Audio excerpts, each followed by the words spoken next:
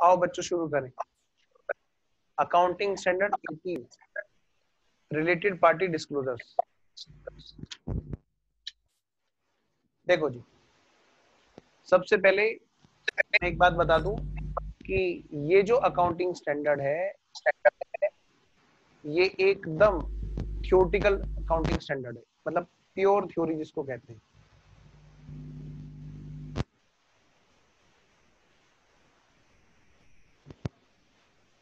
ये जो accounting standard है, ये बेटे न्यूमेरिकल इसमें कुछ भी नहीं है।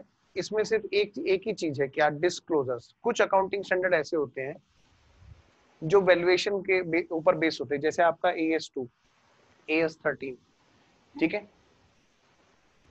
और कुछ अकाउंटिंग स्टैंडर्ड ऐसे होते हैं जो अकाउंटिंग से बिलो अकाउंटिंग के बारे में बातें करते हैं। जैसे अपना ए एस सेवन ठीक है? ए एस आपका टेन ए एस फोर्टीन वगैरह वगैरह ट्वेंटी वन लेकिन कुछ अकाउंटिंग होते हैं जो न वैल्यूएशन की बात करते हैं, ना ही वो बात करते हैं अकाउंटिंग की। वो कहते हैं सिर्फ़ एक काम कर दो, भाई ये वाली बातें भी डिस्क्लोज कर दो, बस। डिस्क्लोजर रिक्वायरमेंट को फुलफिल करने के लिए आते हैं। ये क्यों आते हैं? भाई कई बार क्या होता है, कुछ चीज़ें ऐसी होती हैं जो जाननी बहुत ज़रूरी हो जाती है। जैसे आपका A S one A S one क्या बात कर रहा है? क्या वो वैल्यूएशन की बात करता है? बिल्कुल भी नहीं। क्या वो अकाउंटिंग की बात करता है? बिल्कुल भी नहीं। वो सिर्फ़ ये कहता है कि भाई, ये वाली बातें भी डिस्क्लोज कर दो। ठीक है? बिल्कुल ऐसे ही अकाउंटिंग स्टैंडर्ड 18 भी क्या बात करेगा? सिर्फ़ कुछ बातें डिस्क्लोज करने वाली बात करेगा कि भाई, इन इन बातों को आप बता दो। बेटे एएस का नाम पढ़ के ही आप समझ जाओगे ये किस चीज़ का डिस्क्लोजर कराने वाला है।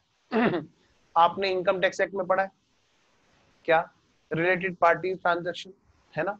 वहाँ पे क्या कर रहे होते हैं हम लोग? हम लोग ये दिख रहे होते हैं कि भाई वो जो ट्रांजेक्शन हो रही है रिलेटेड पार्टी के साथ, है ना? तो वहाँ पर पहले तो ये डिसाइड करते हैं कि रिलेटेड पार्टी क्या है। फिर हम देखते हैं कि उनके साथ में क्या ट्रांजेक्शन हुई है। फिर जो ट्रांजेक्शन हुई है वो आर्म्स लेंथ प्राइस पे हुई है कि नहीं हुई है? ठीक है? तो ये सब बातें हम लोग वहाँ डिसाइड कर रहे होते हैं। बिल्कुल ऐसी ही कुछ बात यहाँ पर अकाउंट्स में क्या कर रहे हैं? हम लोग उसको डिस्क्लोज कर रहे हैं। लेकिन यहाँ हम ये नहीं डिसाइड कर रहे हैं कि भाई आर्म्स लेंथ पे हुई है कि नहीं हुई है, यहाँ पे तो हम बस क्या कर रहे हैं?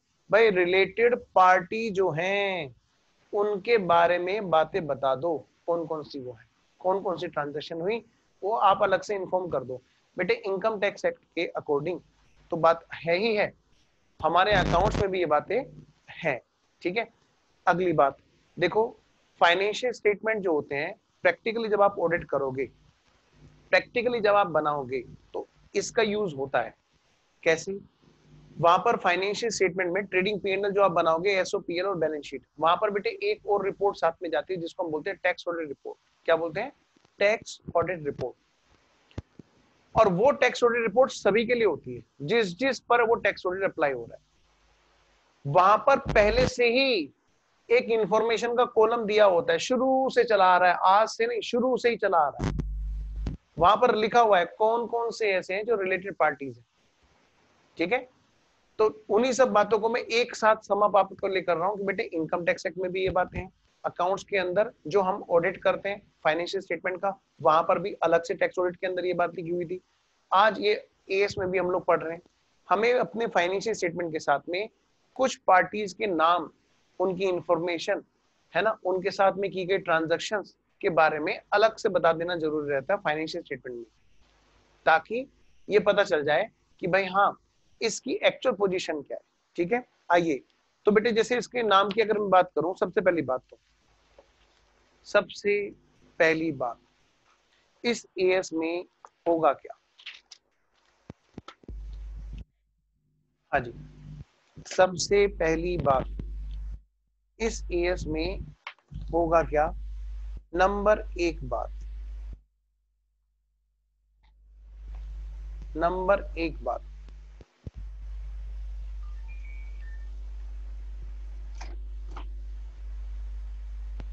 एक तो जी हम लोग यहाँ पे बात करेंगे।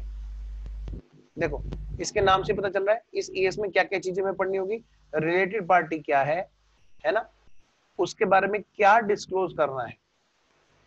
ठीक है जी? आइए जी, लिखिए फटाफट। ऑब्जेक्टिव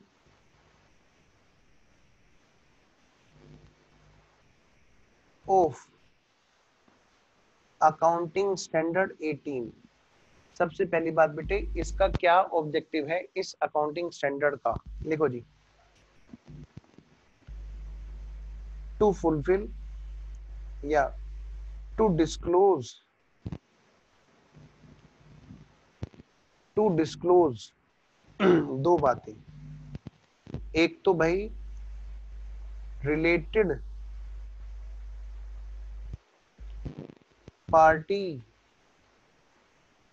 रिलेशनशिप सबसे पहले तो ये बताएगा भाई कौन कौन सी पार्टीज़ ऐसी हैं जो रिलेटेड हैं?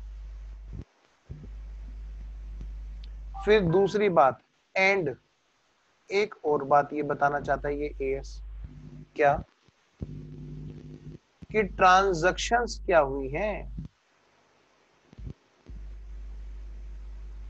ट्रांजैक्शंस क्या हुई हैं बिटवीन जिस फाइन, जिसके फाइनेंशियल स्टेटमेंट में ये बात रिपोर्ट की जा रही है मतलब रिपोर्टिंग एंटिटी हम उसको बोलेंगे। क्या बोलेंगे बेटे? रिपोर्टिंग एंटरप्राइज रिपोर्टिंग एंटिटी किसके बीच में? जिसके फाइनेंशियल स्टेटमेंट में ये बात डिस्क्लोज की जा रही है है ना? उसकी रिपोर्ट की जा रही है है ना? तो हम क्या बोलेंगे? Reporting entity transaction between reporting entity and related parties अभी पहली बात लिखी है बस ईशा बेटे। अभी बस शुरू हुआ है बाबू। तो अभी कुछ भी छुटा नहीं है। तो मैं रिपीट कर रहा हूँ बेटे, इस अकाउंटिंग स्टैंडर्ड का क्या ऑब्जेक्टिव है? भाई कौन कौन सी पार्टी ऐसी हैं जो इस रिपोर्टिंग एंटिटी से रिलेटेड है? एक तो ये बताना, क्या रिलेशन है जी उनसे? भाई मामा का भाई है, चाचा का भाई है, फूफा का लड़का है क्या है है क्या रिलेशन उनसे? सर ऐसी बात रिलेशन बेटे होल्डिंग सब्सिडी वाला रिलेशन है ना? और क्या हो सकता है? है ना? ज्वाइंट वेंचर में हो सकता है, हम उसके साथ पार्टनरशिप में हो और हम उसको माल बेच रहे हो, है ना? माल खरीद रहे हो। बिल्कुल, वही मैं आपसे कह रहा हूँ। तो कहने का मतलब एक तो हमें ये बताना कि भाई, ये डैश ये वाला रिलेशन है, इस वाली पार्टी से। फिर इसके साथ में हमारी ये ट्रांजेक्शन हमने इनसे माल खरीदा है, या हमने इनको माल बेचा है। ठीक है? आओ जी। नेक्स्ट नंबर सेकंड बात। क्या? एप्लीकेबिलिटी एप्लीकेबिलिटी ये अकाउंटिंग स्टैंडर्ड एप्लीकेबल है। हाँ जी। To own entity except level third. ठीक है, हालाँकि बुक इस बात को नहीं बताती बेटे, लेकिन मैं आपको बता दूँ, एक्सेप्ट लेवल थर्ड एंटिटी जो होती है, उनको छोड़ करके। जो स्टार्टिंग वाले अकाउंटिंग स्टैंडर्ड वाले लेक्चर है, वहाँ पर मैंने आपको बता रखा है level one level two level three enterprise कौन कौन सी होती है। ठीक है? आइए जी। क्या है जी इसमें? किस पर एप्लीकेबल है? For disclosure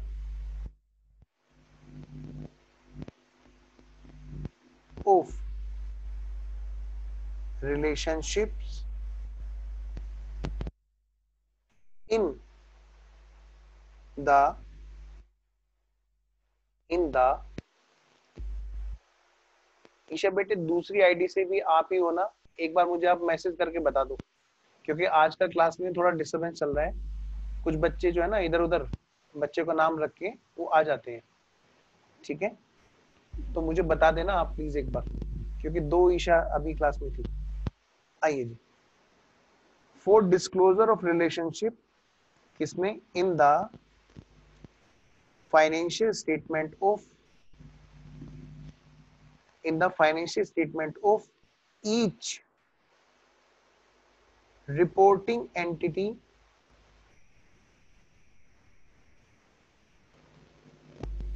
and consolidated financial statement of holding company. क्या मतलब? बेटे, अगर मैं किसी का रिश्तेदार हूँ, अगर मैं किसी का रिश्तेदार हूँ तो वो भी मेरा रिश्तेदार है। मेरा मतलब ये नहीं है कि मैं किसी को ये बोलूँ कि भाई ये तो मेरे मामा का लड़का है। लेकिन वो मेरे को ये नहीं बोलेगा कि मेरा, कि ये मेरी बुआ का लड़का है। ऐसा कभी हो सकता है? हो ही नहीं सकता। तो यही बात मैं आपको बता रहा हूँ। मतलब अगर मैं कहूँ रिलेशनशिप है रिलेशनशिप एग्जिस्ट कर रहा है तो दोनों तरफ़ एग्जिस्ट कर रहा है। ठीक है? तो ये कहते हैं कि इसका मतलब दोनों ही कंसर्न एक दूसरे के लिए क्या कहलाएँगे? रिलेटेड पार्टी ऐसा थोड़ा ना कि मैं अपने फाइनेंशियल स्टेटमेंट डिस्क्लोजर करता रहूँगा कि भाई मैंने रिलेटेड पार्टी से मैंने माल खरीदा या माल बेचा। जब मैं मेरे लिए अगर कोई पार्टी रिलेटेड है तो दूसरी वाली पार्टी के लिए भी मैं रिलेटेड हूँ। ठीक है जी? बात समझ में आ गई? यस अच्छा मैंने आपको बेटे चैट करने का ऑप्शन दे दिया तो आप प्लीज़ मुझे बताना एक बार कि ईशा तुम ही हो ना बेटा?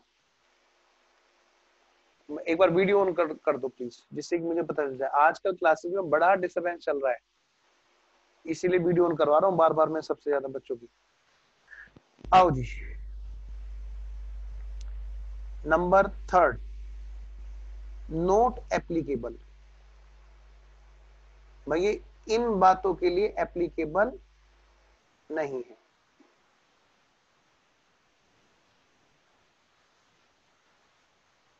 अच्छा।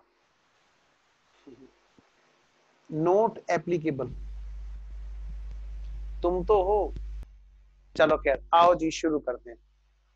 नोट एप्लीकेबल तो बेटे नोट एप्लीकेबल किस पे नहीं है? भाई, पता चला, तुम ये कहो कि हमने कोई ट्रांजेक्शन ऐसी की थी जो कॉन्फिडेंशियल ट्रांजेक्शन है। कॉन्फिडेंशियलिटी ना खो जाए, बस इस बात को ध्यान में रखना होगा। अगर कोई चीज़ ऐसी है जो बहुत ही कॉन्फिडेंशियल है, उस चीज़ को नहीं हमें डिस्क्लोज करना है। ठीक है? नेक्स्ट स्टेट कंट्रोल्ड एंटिटीज बेटे जहाँ पर एक स्टेट दूसरे स्टेट को अगर कंट्रोल कर रहा है तो फिर स्टेट उनकी तो वैसे भी ट्रांजेक्शन बड़ी वो कॉन्फिडेंशियल रहती है। तो उनको तो उन, उनके लिए भी स्किप किया गया है। ठीक है? आओ जी। नेक्स्ट नंबर फोर्थ पे आते हैं जी अगला पॉइंट अब हमें क्या चाहिए? अब हमें चाहिए जी, सबसे पहले क्या? रिलेटेड पार्टी का क्या मतलब होता है? लिखिए जी। नेक्स्ट पेज पे लिखता हूँ। लो बेटे, लिखो फटाफट से। Number fourth point related party relationship इसमें पहले तो लिखो वेन टू चेक कब चेक करना है? हम रिलेटेड पार्टी पार्टी रिलेशनशिप कि भाई कोई पार्टी हमारे रिलेटेड है, हम कब चेक करेंगे? कह रहे relationship relationship existence is checked whether whether relation exists at any time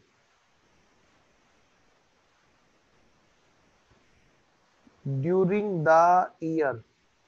During the year. कि भाई किसी भी टाइम पर अगर रिलेशनशिप रहा है तो पूरे फाइनेंशियल ईयर के लिए वो क्या कहलाएगी? रिलेटेड पार्टी क्या मतलब सर मैंने कहा, लो भाई. ये हमारा ईयर है? हाँ जी। ठीक है? मैं एक एग्जांपल ले रहा हूँ। मिस्टर ए है। हाँ जी। मिस्टर ए ने मिस बी को, मिस बी को माल बेचा। मिस बी है बेटे, उनको माल बेचा। इन्होंने जिस डेट इन्होंने बेटे यहाँ पर पहली डेट है, मैं इसको कह सकता हूँ, अप्रैल से स्टार्ट है बेटे, इन्होंने मई में माल बेचा। और कुछ इस तरह की बात हुई कि इनका यहाँ पर, इधर यहाँ पर नवंबर में इनकी मैरिज हो गई। लेट सपोज़ इन्होंने यहाँ पर इनको क्या किया बेटे? गुड्स सोल्ड हाँ जी इन्होंने इनको माल बेचा? यस जिस टाइम पर इन्होंने इसको माल बेचा, उस टाइम पर रिलेशनशिप एग्जिस्ट नहीं करता था। लेकिन बाद में उनका रिलेशनशिप एग्जिस्ट करता है। ठीक है? बेटे इंडिविजुअल के केस में मैं बात करूँ, अगर रिलेशनशिप की तो वो कहते हैं, जो भी उनके स्पाउस हैं हस्बैंड वाइफ बच्चे और उनके पेरेंट वो उनके रिलेशनशिप कहलाएगी कि रिलेटेड पार्टी है। इंडिविजुअल की मैं बात करूँ, ठीक है? होल्डिंग के लिए सब्सिडरी सब्सिडी के लिए होल्डिंग ठीक है जी? ध्यान से बेटे, कुछ जगह ऐसी भी है जहाँ पर फिफ्टी परसेंट से ज़्यादा की होल्डिंग नहीं होती तो कोई बात नहीं। बीस परसेंट या उससे ज़्यादा है तो उसको बोलते हैं हम लोग कि हमारा वहाँ पर सब्सटेंशियल इंटरेस्ट है, ठीक है? ज्वाइंट वेंचर के केस में ऐसा होता है। तो वो क्या कहते हैं? वो भी एक रिलेटेड पार्टीज़ है। Anyways come to the point फ़िलहाल तो मैंने एक सीधा सा एग्जांपल लिया, जहाँ से बच्चों को बहुत जल्दी समझ में आ जाएगा। अच्छा हाँ भाई, ये तो शादी हो गई इनकी। तो यानी कहीं ना कहीं इनका इन्फ्लुएंस रहा होगा ट्रांजेक्शन पर। ठीक है? तो ये कहते हैं कि भले ही इनकी मैरिज यहाँ पे हुई हो, ये पूरे साल भर के लिए, यानी कि इस वाले ट्रांजेक्शन को भी ये अलग से डिस्क्लोज करेंगे, क्योंकि ये रिलेशनशिप किसी भी मतलब रिलेटेड पार्टी अगर बन जाती है तो किसी भी मोमेंट ऑफ़ टाइम पर बने, साल में। वो फिर पूरे साल के लिए रिलेटेड पार्टी कहलाती है। ठीक है जी? और सुनो, दूसरा एग्जांपल ये तो बात हुई मैंने, एक इंडिविजुअल की बात कर ली। भाई, एक है ए लिमिटेड उसने क्या किया बेटे? एक बी लिमिटेड है। है ना? उसको माल बेचा, उसको माल बेचा, बल्कि क्या क्या? उस पर होल्ड कर रखा था। ये होल्डिंग है और ये क्या बेटे, ये सब्सिडरी कंपनी है। ठीक है? ये चाहे रिलेशनशिप यहाँ पर बने, चाहे ये सबसे लास्ट में जाकर के बने, ठीक है? ये साल भर के लिए फिर रिलेटेड पार्टी मानी जाएगी, चाहे इससे पहले बेचा हुआ माल हो, चाहे इससे बाद में बेचा हुआ माल हो, भाई एक परचेजर होगा, एक सेलर होगा। ज़रूरी नहीं कि होल्डिंग के लिए सब्सिडी डेटर बने। होल्डिंग टू सब्सिडी या सब्सिडी टू होल्डिंग किसी को भी माल बेच रखा हो बेटे वो क्या हो जाएँगे हमारी रिलेटेड पार्टी ठीक है? तो कहने का मतलब है ये फिर साल भर के लिए रिलेटेड पार्टी मानी जाती है और इनसे जुड़ी हर ट्रांजेक्शन को हमें डिस्क्लोज करना है। आई होप आपको इतनी बात समझ में आ रही है।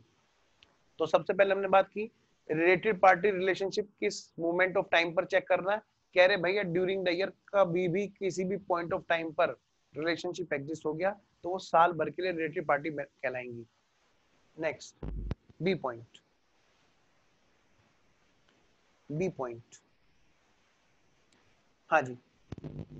Meaning of related party meaning of related parties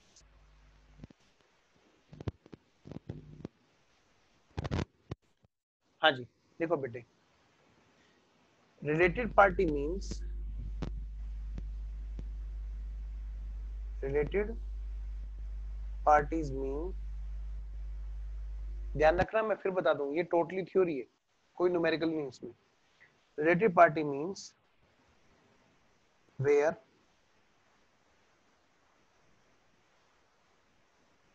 one party जहाँ पर बेटे एक पार्टी दूसरी पार्टी को या तो कंट्रोल कर ले कंट्रोल कर रही हो, या फिर वो सिग्निफिकेंट इन्फ्लुएंस डाल सकती हो। ठीक है? हाँ जी where one party has ability to control or to exercise to exercise significant significant influence भाई, या तो वो उसको कंट्रोल कर ले, एक पार्टी दूसरी पार्टी को कंट्रोल करती है तो रिलेटेड पार्टी कहलाती है। या फिर एक पार्टी दूसरी पार्टी के ऊपर सिग्निफिकेंट इन्फ्लुएंस रखती है। टू या उसकी एबिलिटी है टू कंट्रोल की, या एबिलिटी है to exercise significant influence over the other party at any time during the year. तो हम कहते हैं जी, जो पार्टीज़ हैं, वो क्या है? रिलेटेड पार्टीज़ हैं।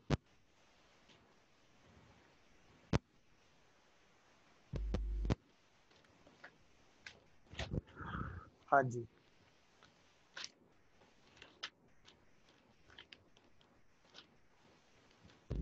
आओ बेटे। शुरू करें? चलो जी। नेक्स्ट पॉइंट ये तो था हमारा पॉइंट नंबर फोर फोर के अंदर बी पार्ट पे हम लोग मीनिंग ऑफ़ रिलेटेड पार्टीज़ जहाँ पर हमने देखा, भाई या तो वो एक पार्टी दूसरी पार्टी को कंट्रोल कर रही हो, या फिर जो है, एक पार्टी जो है, दूसरी पार्टी को सिग्निफिकेंट इन्फ्लुएंस डाल सकती है उसके ऊपर over the year at any time आओ जी। अब हम बात करते हैं, किसको बोलते हैं कंट्रोल और जी किसको बोलते हैं सिग्निफिकेंट इन्फ्लुएंस? आइए जी। इसी में बी के अंदर ही हम लोग लिख रहे हैं। हाँ जी, लिखो बेटे। कंट्रोल। या लिखो when we can say that one party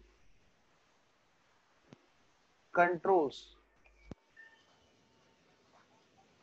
other party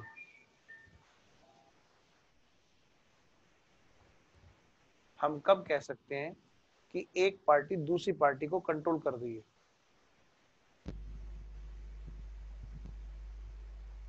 ठीक है जी, लिखो बेटे।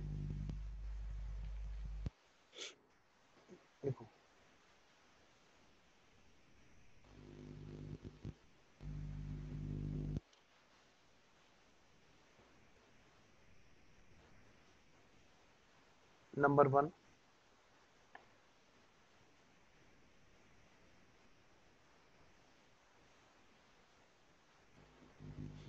entity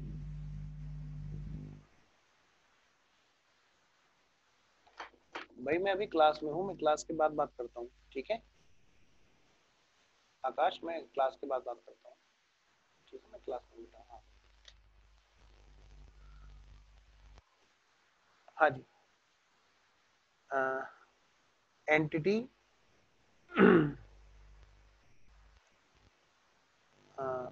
क्या बोल रहा था मैं हाँ entity controls other by having voting power more than 50% of, more than 50% of voting power. अगर किसी के पास में दूसरी कंपनी की 50 परसेंट वोटिंग पावर से ज़्यादा है कंट्रोल कर रखी है तो यानी कि वो एंटिटी दूसरी एंटिटी को क्या कर रही है? कंट्रोल कर रही है। नंबर सेकंड क्या entity has power to compose to compose board of director boards of director board of directors of other entity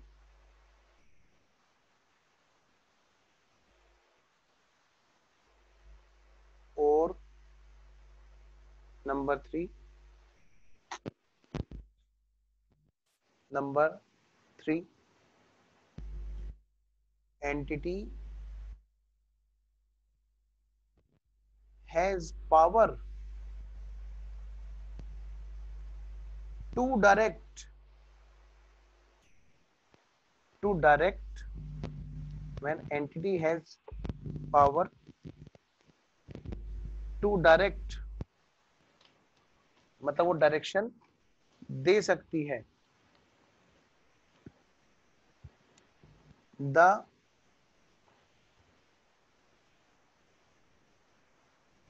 decision of financial and operational efficiency of other entity and having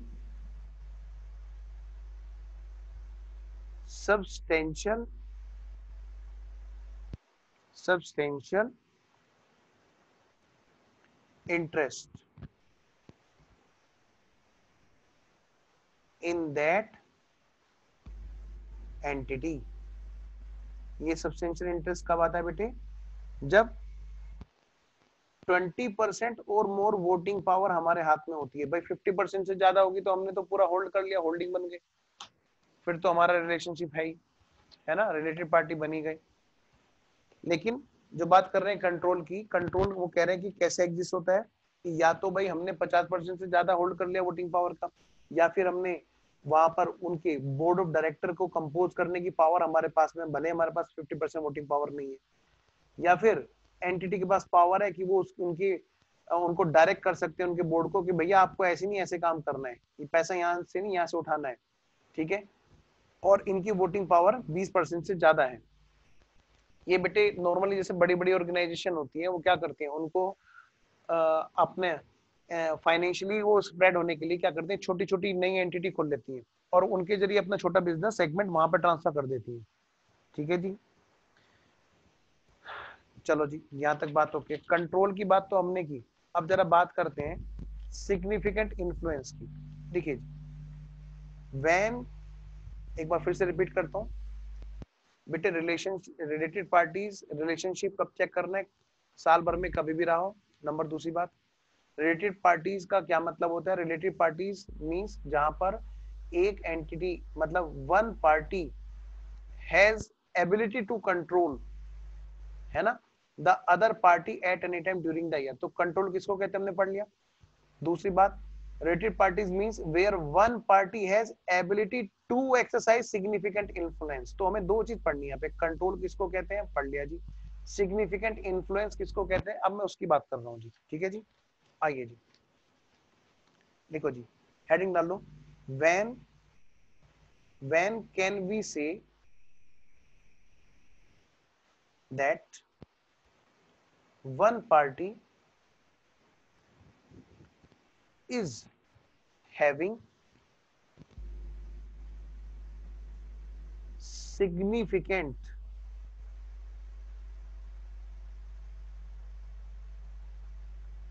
influence on या over other party over other party भाई, एक party का दूसरी party पर significant influence है, इस बात को हम किस बेस पे डिसाइड करते हैं, ये एएस हमें बताता है। आइए जी। ये एएस हमें इस बात को बताता है कि भाई हम कब मान सकते हैं कि कोई भी पार्टी दूसरी पार्टी पर सिग्निफिकेंट इन्फ्लुएंस रखती है। तो ये जो थर्ड वाला पॉइंट है, वो इधर आ गया। हाँ जी। क्या? When one party when one party has power to participate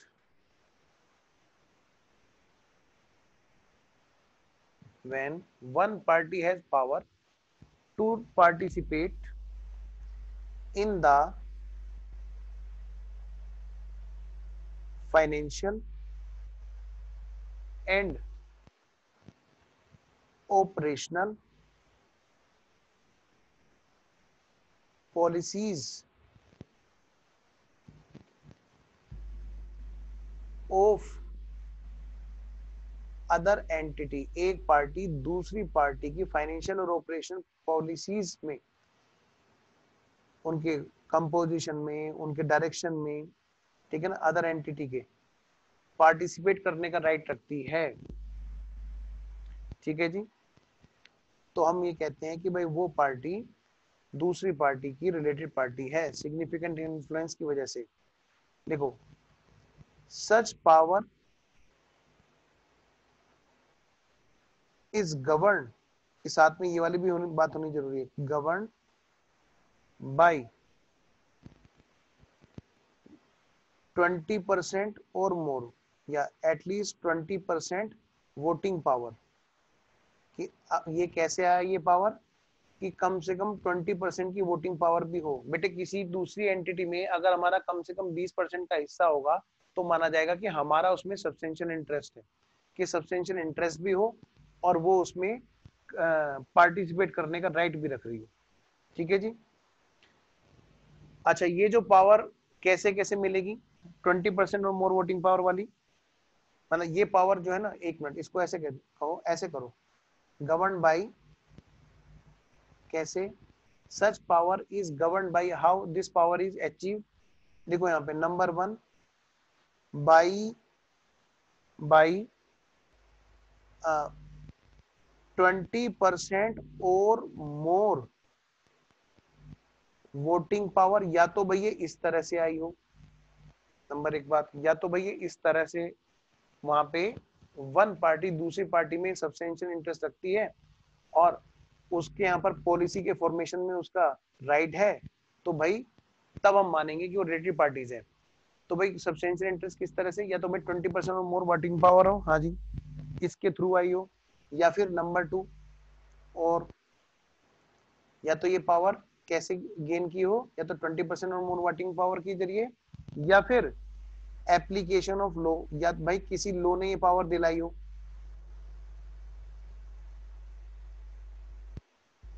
और नंबर थ्री या फिर भाई बाई एन एग्रीमेंट या भाई इस बात के लिए कोई एग्रीमेंट हुआ? वो कंपनी के शेयर होल्डर के साथ में। उन्होंने पावर दे दियो किसी को कि भाई चल ठीक है, तू काम देख हमारा, चल।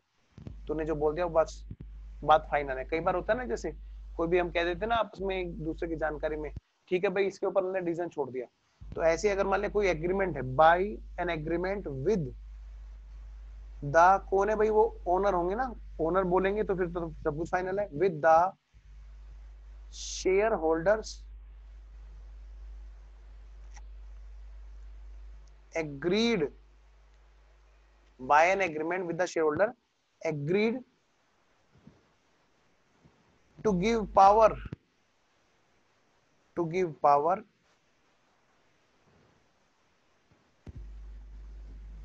full stop भाई ये पावर हो सकता है एग्रीमेंट के ज़रिए मिली है उनको तब भी हम बोलेंगे कि भैया ये जो है ना रिलेटेड पार्टी है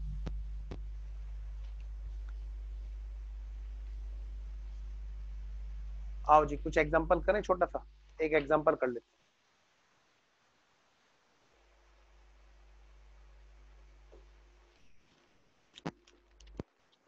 लो जी। लिखो जी। एग्ज़ाम्पल लो बेटे। अगर मान लिया, अगर मान लिया, अगर मान लिया एग्ज़ाम्पल कर लो या बोलो केसेस बोल लो अलग अलग केस नंबर ए मान लिया वोटिंग पावर है, ठीक है? वोटिंग पावर है बीस परसेंट की ठीक है ना? तो क्या पावर एग्जिस्ट मानी जाएगी या नहीं मानी जाएगी? हम लोग इस बात पर बैठे हैं। एग्जिस्ट और नॉट एग्जिस्ट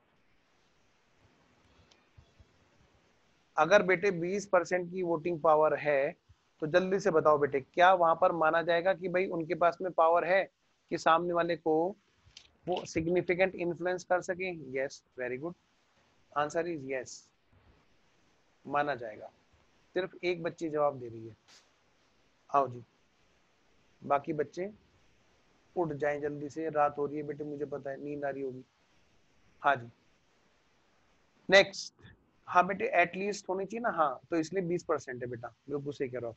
नेक्स्ट बताओ बेटे, अगर मान लिया ऑनरशिप मतलब उनके पास वोटिंग पावर है तेईस परसेंट की तो मानी जाएगी yes of course C point अट्ठाईस परसेंट की यस ठीक है नेक्स्ट कह रहे मान लिया वोटिंग पावर है, कितने की है?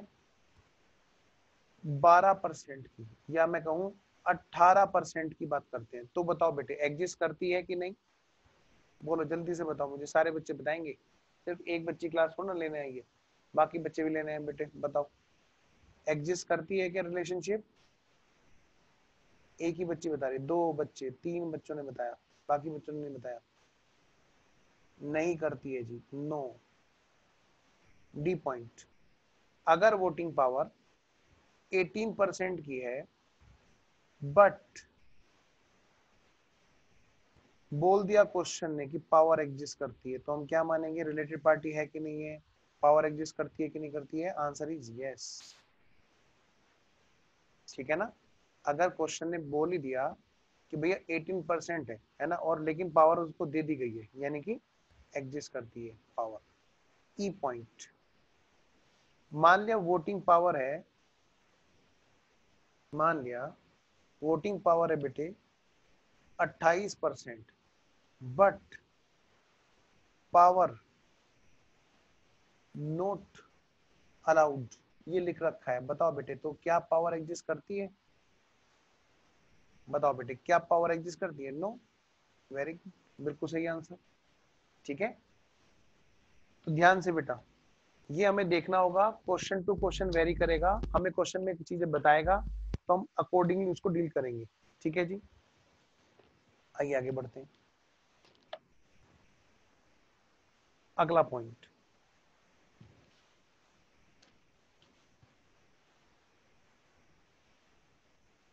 लो जी।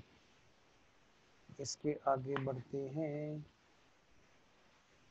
तो हमें इस एस में अगर मैं मैं देखूँ अभी तक। हाँ जी, अभी तक अगर मैं देखूँ तो हमने क्या देखा? कि भाई नंबर एक, कहाँ पे एप्लीकेबल है? एप्लीकेबिलिटी और नोट एप्लीकेबिलिटी नंबर दूसरी बात, हमने देखा कि भैया रिलेटेड पार्टी कहते किसे who? Is related party number तीसरी बात, हम लोग बात कर रहे थे बेटे रिलेशनशिप हम कैसे बोलेंगे कि कोई भी पार्टी दूसरे की रिलेटेड पार्टी है, उसमें रिलेशनशिप की हम लोग बात कर रहे थे, ठीक है? वन पार्टी कंट्रोल अदर और वन पार्टी क्या? वन पार्टी कंट्रोल अदर और सिग्निफिकेंट इन्फ्लुएंस आइए जी, कुछ बातें और भी लिखनी है। इसी में ही आगे, लिखिए फटाफट से। Related party related party related party relationship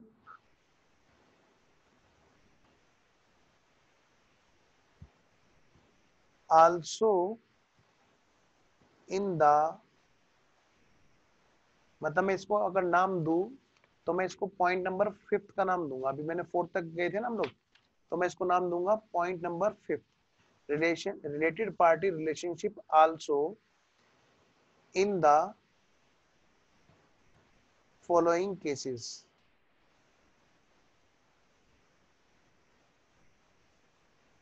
आराम से हो जाएगा बेटे। ये तो मैं खींच ही रहा हूँ, सही बताऊँ, इसमें बहुत ज़्यादा इसमें कुछ है नहीं, वरना आपको लगे पंद्रह मिनट में उड़ा दिया जी सर ने। आओ जी, कब कब और वो बोलते हैं, कहते हैं कि देखो भैया, जब वो एसोसिएट हो मतलब ये कह सकते हैं, इसको लिखो यहाँ पे, क्या? Related party relationship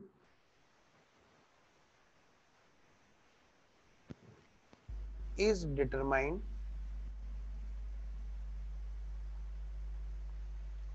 by following aspects पहला था कंट्रोल दूसरा significant influence C part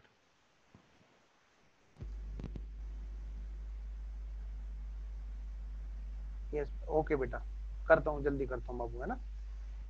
तीसरा है बेटे, हमारा कोई एसोसिएट है या फिर हमारा कोई ज्वाइंट वेंचर है, तब भी हम क्या बोलेंगे, वो हमारी रिलेटेड पार्टी है। मतलब यहाँ पे एकदम क्लियर कट बता रहा है कि भाई किस किस केस में हम लोग बोलेंगे कि वो रिलेटेड पार्टी है। ठीक है जी? आओ जी। और क्या जी? डी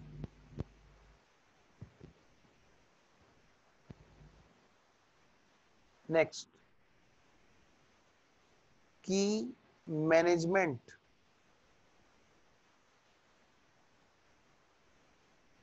पर्सनल है, कोई भी की मैनेजमेंट पर्सनल है तो वो भी रिलेटेड पार्टी होगा, ठीक है? नेक्स्ट ई पॉइंट ऑनर है तो भी वो रिलेटेड पार्टी में होगा।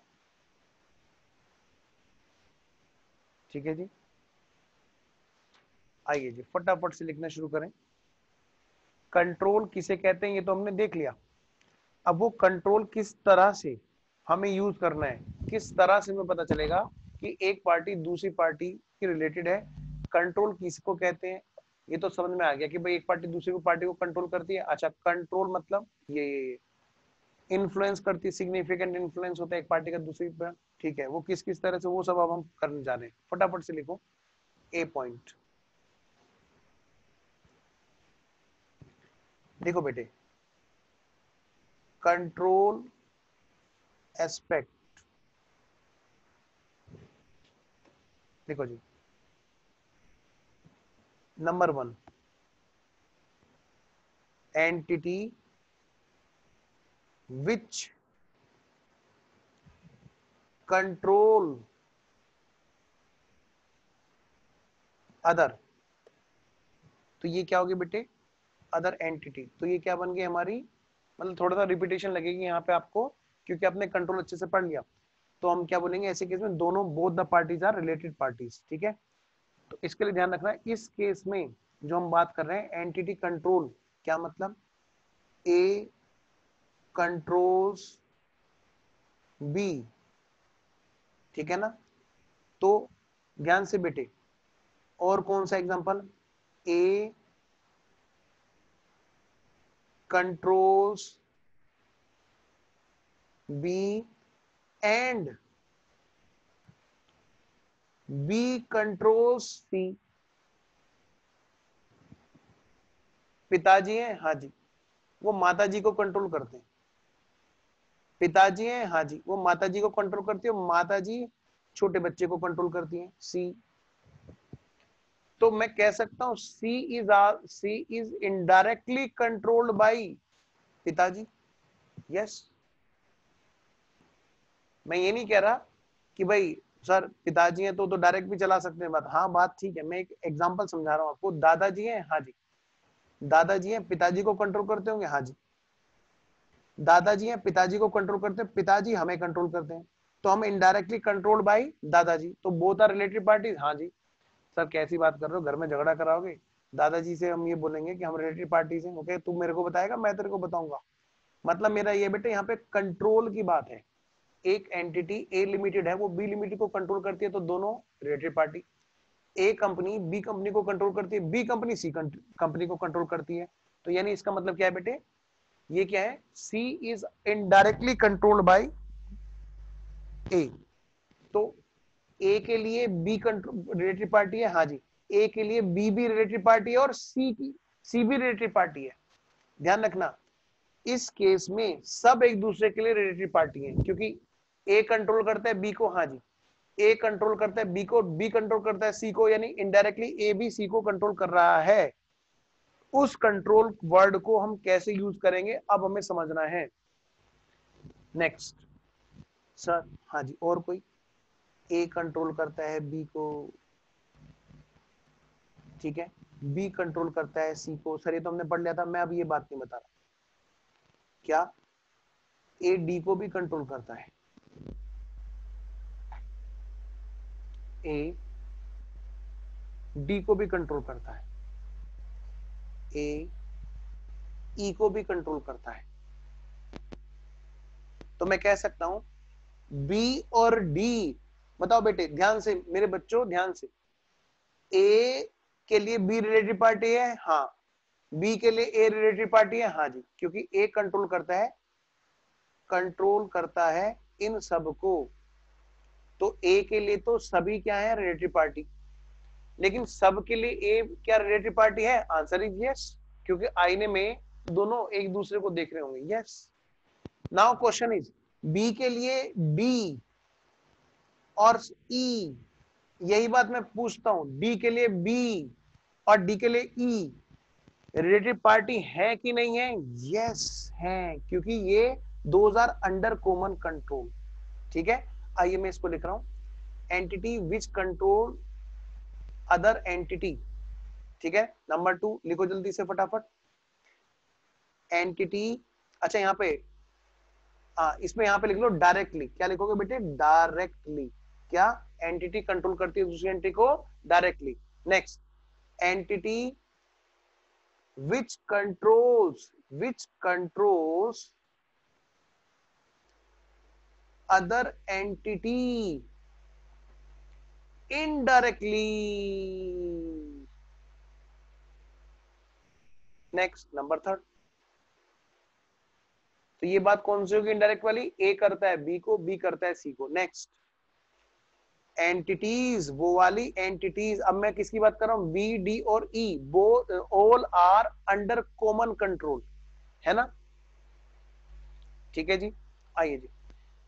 एंटिटी या entities which are under common control भाई तो ऐसे केस में भी ये पार्टीज़ एक दूसरे के लिए क्या है? रिलेटेड पार्टी ठीक है जी? हाँ जी. यहाँ तक बात बच्चों को समझ में आ गई है। तो मैं कह सकता हूँ एक कॉमन नोट लिख लो. नोट कंट्रोल के लिए common note such control may be direct और may be indirect through one or more mediators, must medi, mediators.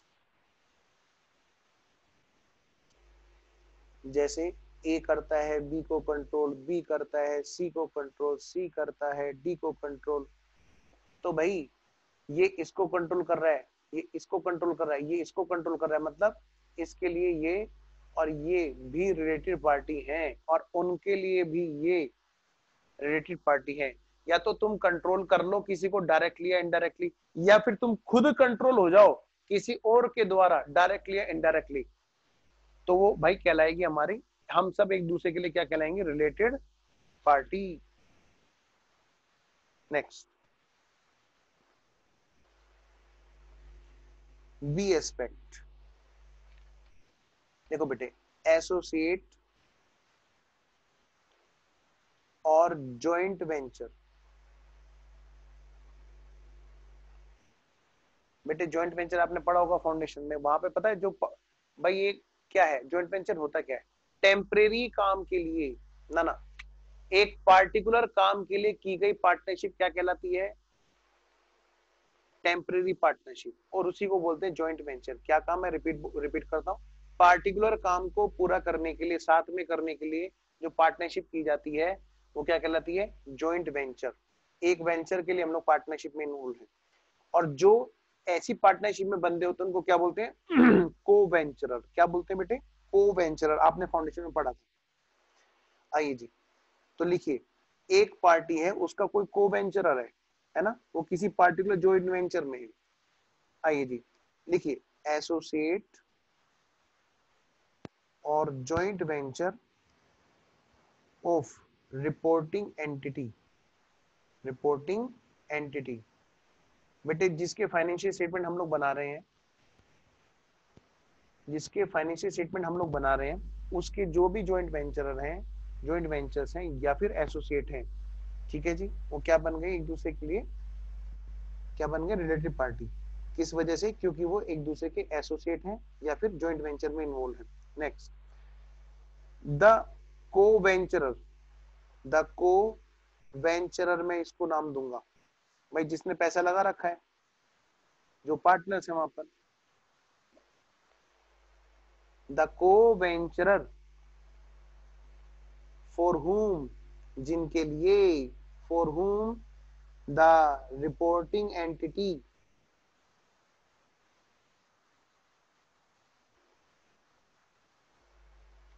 is an associate और जॉइंट वेंचर उनके लिए रिपोर्टिंग एंटिटी क्या है एसोसिएट या जॉइंट वेंचर है। तो ये क्या बन गए आपस में एक दूसरे के लिए? रिलेटेड पार्टीज़ क्या बन गए? रिलेटेड पार्टीज़ चलिए जी, मैं नेक्स्ट पॉइंट पे आ रहा हूँ। सी पॉइंट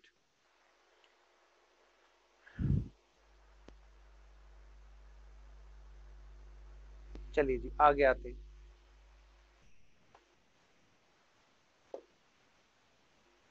सी पॉइंट लिखिए जी।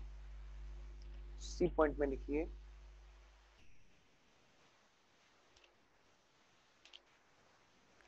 Ownership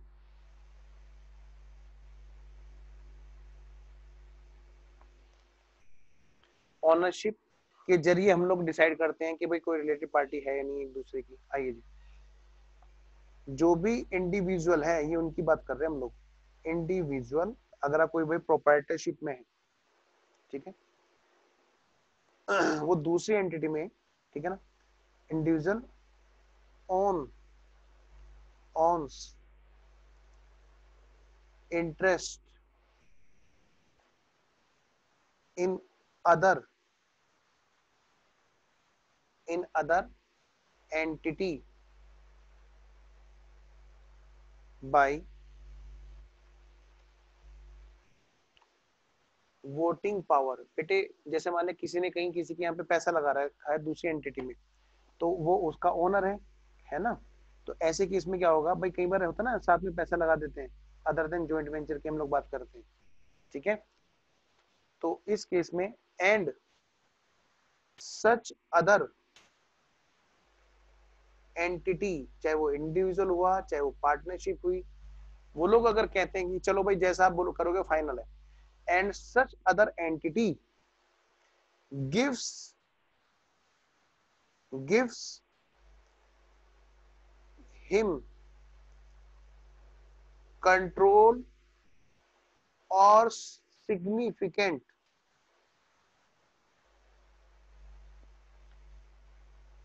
influence and relative of such individual, relative, relatives of such individual बेटे, ये जो इंडिविजुअल है, इसके कोई भी रिलेटिव होंगे, वो भी इस एंटिटी के लिए, जिस एंटिटी ने उस इंडिविजुअल को कंट्रोल दे रखा है, या उसको सिग्निफिकेंट इन्फ्लुएंस की पावर दे रखी है कि तुम हमारे पास सिग्निफिकेंट इन्फ्लुएंस को रन कर सकते हो। ठीक है? ध्यान रखना, एक नोट डाल दो। Such interest of voting power may be direct और इनडायरेक्ट क्या मतलब? ये है मिस्टर राम। ये है मिस्टर राम।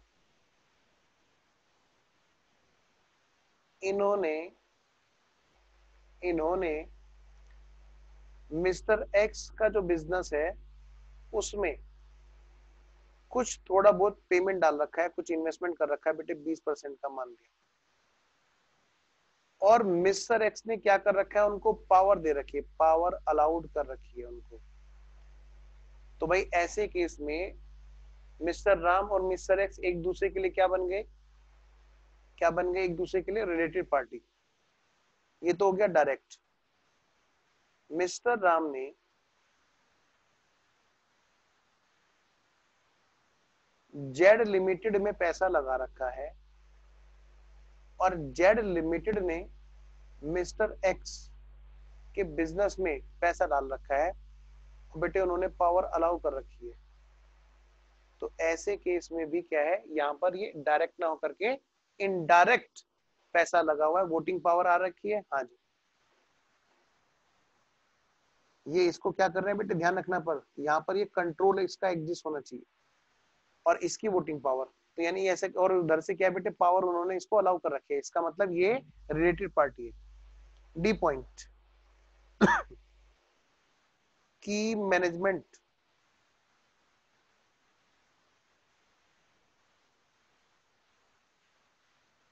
पर्सनल।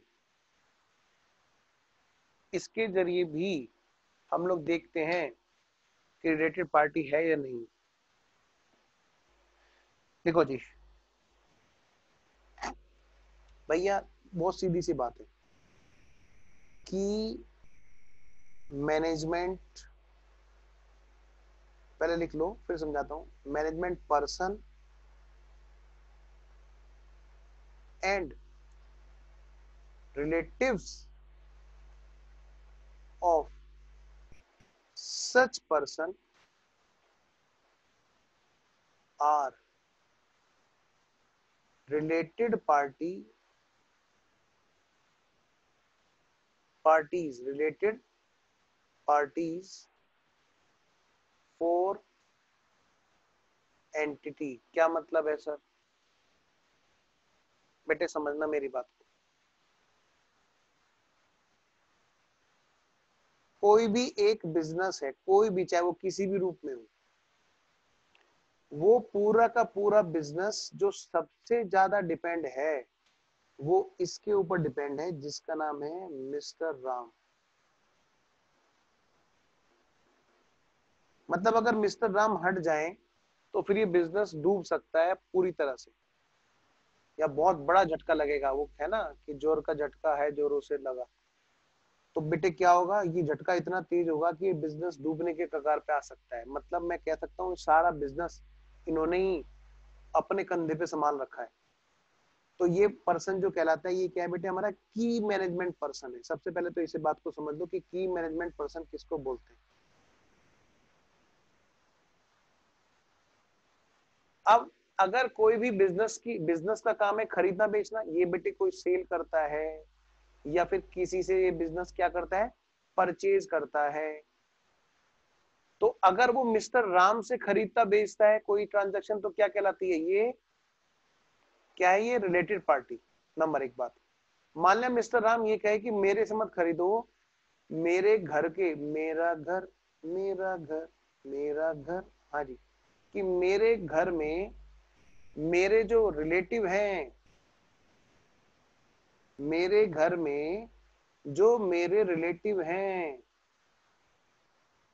टुन्नू मुन्नू। हाँ जी। चाहे वो मिसिस राम हो, है ना?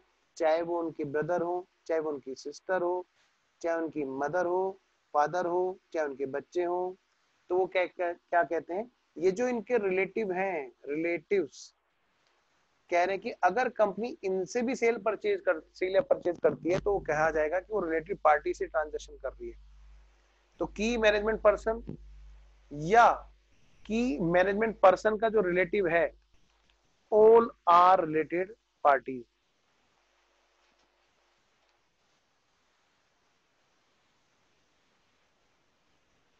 बेटे नोट कर लिया तो प्लीज़ मुझे मैसेज कर दो, ताकि मुझे पता रहे कि सब बच्चे जाग रहे हैं, क्योंकि वीडियो तो आपने ऑन कर नहीं रखी। एक ही बच्ची जाग रही है, वही बच्ची मैसेज करती है हर बार कि हाँ सर डन ओके दूसरे बच्चे भी जाग रहे हैं भाई, अरे तीन बच्चे जाग रहे हैं, अरे अरे बाकी भी जाग रहे हैं। ओके ठीक है जी डन तो पॉइंट नंबर नेक्स्ट पॉइंट पे आते हैं हम लोग। पॉइंट नंबर ई लिखो बेटे। सिग्निफिकेंट इन्फ्लुएंस आज आपको नींद बहुत अच्छी आएगी, देख लेना। वैसे भी रात हो रही है नींद आने वाली होगी। मम्मी मम्मी कहाँ जा रहे हैं हम? मम्मी मम्मी, हम क्लास में नहीं जा रहे हैं, हम लोरी सुनने जा रहे हैं। आज थ्योरी की क्लास है हमारी। ओके सिग्निफिकेंट इन्फ्लुएंस क्या कहते हैं भाई? देखो जी, कब कब कहा जाता है कि सिग्निफिकेंट इन्फ्लुएंस हो रहे हैं? भाई जो डायरेक्टर है डायरेक्टर डायरेक्टर है, वो सिग्निफिकेंट इन्फ्लुएंस डाल सकता है। बिल्कुल सही बात है जी। ठीक है? Number second major share holder है। हाँ जी मेजर शेयर होल्डर है। वो सिग्निफिकेंट इन्फ्लुएंस डाल सकता है जी। सबसे ज़्यादा शेयर उसके पास में है। अच्छा इसके बाद में भी क्लास है। बहुत बड़ी बात है भाई। वेरी गुड तो जी नेक्स्ट बेटे, अगर कॉमन की मैनेजमेंट पर्सन है ओ ये बच गया था सर क्या मतलब? मान लिया मिस्टर राम, जो हमने पिछले एग्जांपल में लिया था। हाँ जी, मिस्टर राम, जो की मैनेजमेंट पर्सन है इस बिज़नेस का। आपने ये तो देखा हाँ जी, कि की मैनेजमेंट पर्सन है। हाँ जी, अभी अभी देखा था सर, पिछले वाले एग्जांपल में। मैं उसी एग्जांपल को रिपीट करता हूँ। ये एंटिटी सेल करती है, या फिर बेटे किसी से माल खरीदती है परचेज करती है। हाँ जी। सर, अब घर मत बनाना, हमने बना रखा है। अच्छा वो हटा दो। अगर इसके घर वालों से, यानी कि रिलेटिव से बात करेंगे तो तो ठीक है, समझ में आता है। लेकिन पता चला, ये मिस्टर राम, एक और बिज़नेस के राम हैं। ओ वहाँ पर देखो इन्होंने पूरे लंबे चौड़े हाथ करके इन्होंने बेटे कंधे पे वो वाला बिज़नेस भी उठाया हुआ है। ओ इसका मतलब मिस्टर राम ने दो दो बिज़नेस संभाल रखे हैं। यस ये वहाँ पर भी की मैनेजमेंट पर्सन है।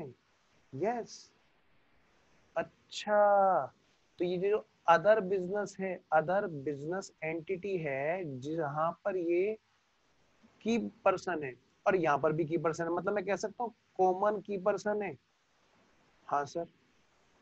तो ये कहते हैं कि ऐसे केस में भी अगर ऐसी एंटिटी से भी हम लोग ट्रांजेक्शन करते हैं तो ये कहलाया जाएगा कि भाई ऐसे केस में सिग्निफिकेंट इन्फ्लुएंस है, एक फ़ोन करेगा, वो कहेगा, इतने में नहीं, इतने में डील कर दे, खत्म, मामला। ठीक है जी? तो ये है बेटे। नेक्स्ट पॉइंट क्या हम आगे चलें? अब हम आगे चलते हैं बेटे। चलो जी, आगे चलते हैं। नेक्स्ट तो अब अगला पॉइंट पॉइंट नंबर फाइव था नहीं? ये हमारा पॉइंट नंबर फाइव था। हाँ। देखो point number six how how can related party कह रहे जो चिल्ला रहे हो इतनी देर से relative party relative party relative party ऐसे रिलेटिव पार्टी ऐसे हाँ। कह रहे how can related party transaction and relationship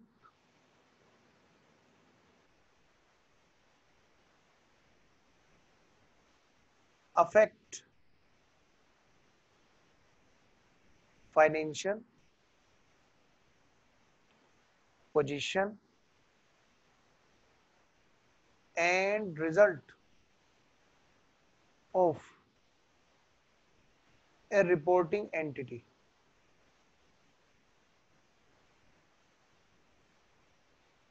भाई कैसे, ये कैसे इफ़ेक्ट कर सकती हैं रिलेटेड पार्टी ट्रांजैक्शन और रिलेशनशिप ये कैसे इफ़ेक्ट कर सकती है? रिपोर्टिंग एंटिटी को हेडिंग बना लो लिखो बेटे इसके अंदर नंबर ए पॉइंट सबसे पहली बात।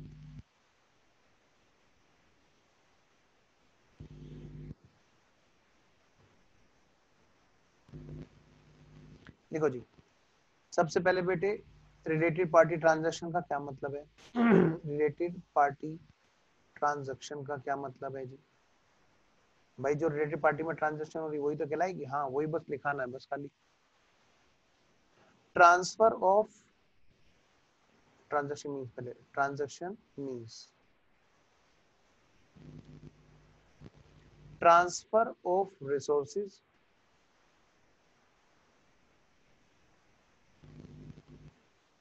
और obligation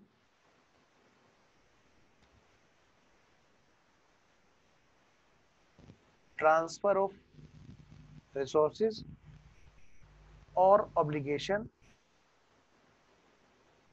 between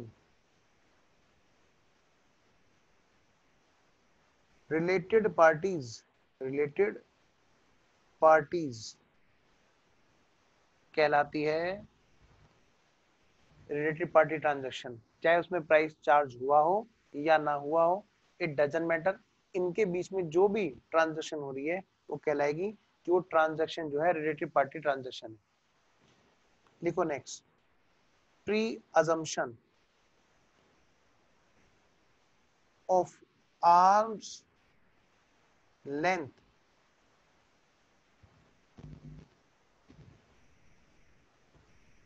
price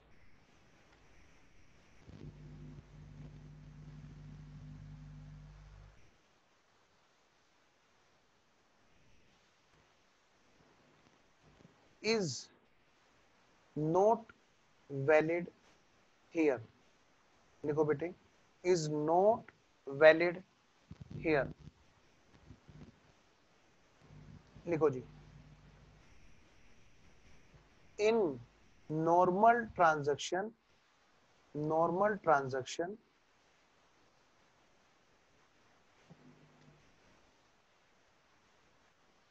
it is presumed it is presumed that transactions are at arm's length price comma but in case of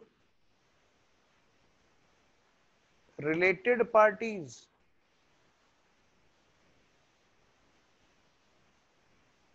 It cannot be presumed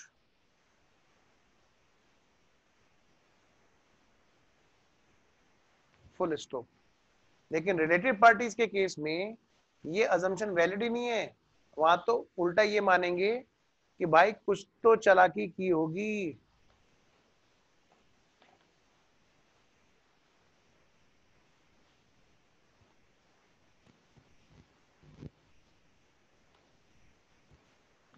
लिखिए जी।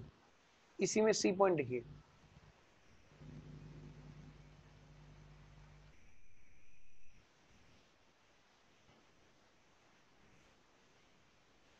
हाँ जी। आई होप आपने नोट कर लिया होगा। आइए जी, मैं सी पॉइंट पे चलता हूँ। लिखिए। देखो बेटे nature of related party transactions.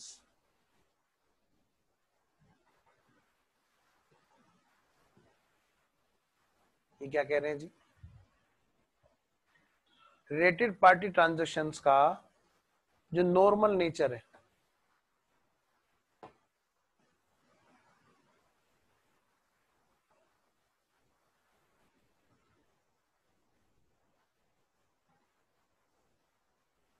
लिखिए transactions between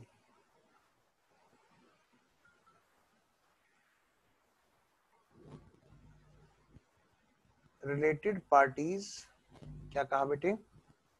Transactions between related parties may not be affected at the same terms same terms and condition.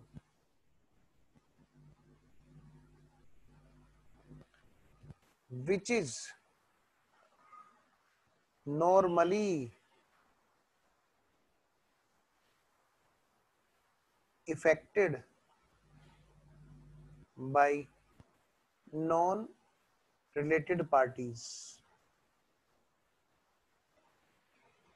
Nature of transaction क्या माना जाता है? कि भाई जो नॉर्मली नॉन रिलेटेड पार्टीज़ हैं, उनमें जो ट्रांजेक्शन होती है तो इफेक्टेड उस तरह से ये इफ़ेक्ट नहीं हुई होगी जो रिलेटेड पार्टीज़ के बीच में ट्रांजेक्शन है। पॉइंट नंबर सेकंड समटाइम्स आपने बेटे पढ़ रखा होगा काफ़ी जगह। समटाइम्स अब मान ले आप अब आप सोचो इसका एक एग्जांपल आपको मैं भी बता देता हूँ। आप कल को सीए बने। आप कल को सीए बने सीए बनने के बाद में आपका कोई रिश्तेदार आ जाए और वो आपसे कहे अरे कैसी है मेरी टुन्नू बेटा? कैसी है? तू तो इतनी सी थी, तब मैंने तेरे को गोद में खिलाया था, अब तू इतनी बड़ी हो गई। बेटा, बहुत बढ़िया बहुत बढ़िया। बेटे, मेरी बैलेंस शीट साइन कर दे। बेटे, मेरा लोन करा दे। बेटे, मेरे आईटीआर भर दे। आप कहोगे हाँ हाँ अंकल हाँ हाँ मामा हाँ हाँ चाचा हाँ हाँ हाँ जी, ये ये, वो। बेटे, बाद में पैसे मिलेंगे क्या? नहीं। तो मैं आपको यही बात बता रहा हूँ। यही चीज़ यहाँ पर कही गई है। क्या? कि कोई भी एंटिटी ये माल खरीदने की बात कर लो माल बेचने की बात कर लो ऐसे केस में भी अगर हम देखें तो वहाँ पर वो कहते हैं कि नॉर्मल टेंडेंसी क्या पा, पाई गई है? कि या तो वो सही प्राइस पे नहीं हुई है या कोई प्राइस ही नहीं चार्ज हुआ। Sometimes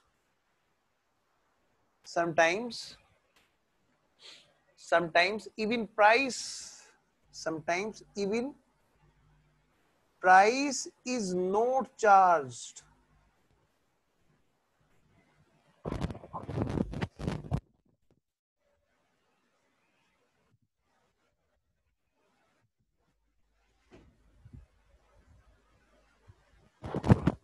कभी कभी तो क्या होता है कि प्राइस ही नहीं चार्ज किया जाता फ्री में ही काम कर दिया जाता है।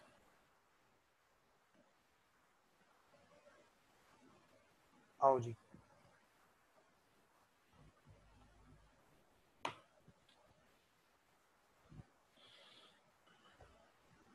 ठीक है जी। नेक्स्ट नोट कर लो बेटे नोट करते मेरे को मैसेज कर देना कि सर मैंने नोट कर लिया।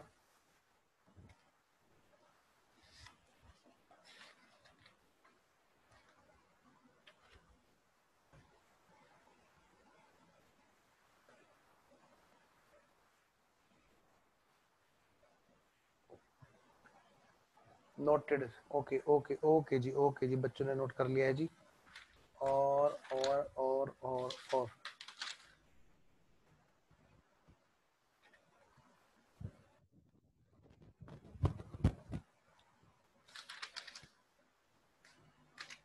देखिए लास्ट वाला पॉइंट लिखो। क्या है जी इसके बाद में? Point number six point number six लिखो बेटे।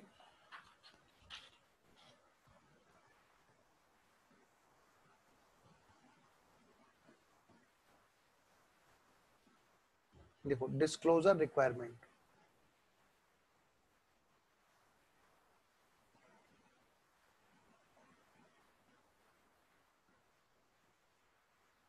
क्या है जी डिस्क्लोजर रिक्वायरमेंट अच्छा सिक्स नहीं सेवन ओहो। अच्छा दो बच्चों ने बोला सिक्स नहीं सेवन ओके बेटा। सेवन नंबर लिखो बेटा डिस्क्लोजर रिक्वायरमेंट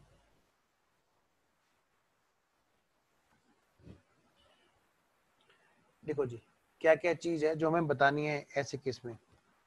सबसे पहले तो हमें बताना है रिलेटेड पार्टी के साथ में क्या रिलेशन है हमारा। रिलेटेड पार्टी रिलेशनशिप एक तो हम जी ये बताएँगे। ये बात एंटिटीज को बतानी होती है।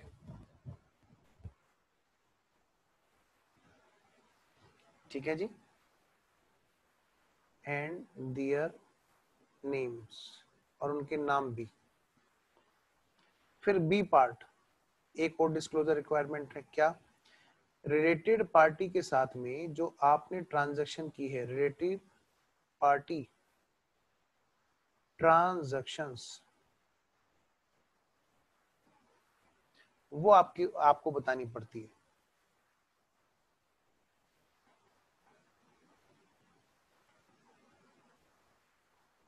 ठीक है जी। नेक्स्ट सी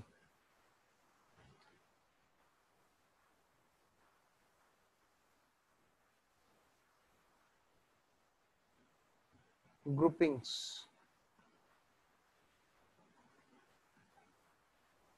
देखो बेटे, ये छोटा सा हेडिंग है, इसके अंदर लिखना पड़ेगा हमें।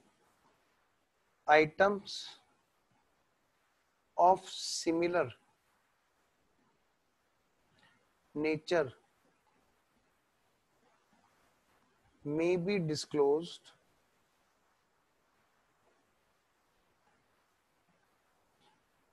in the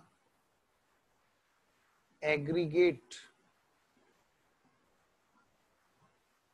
accounting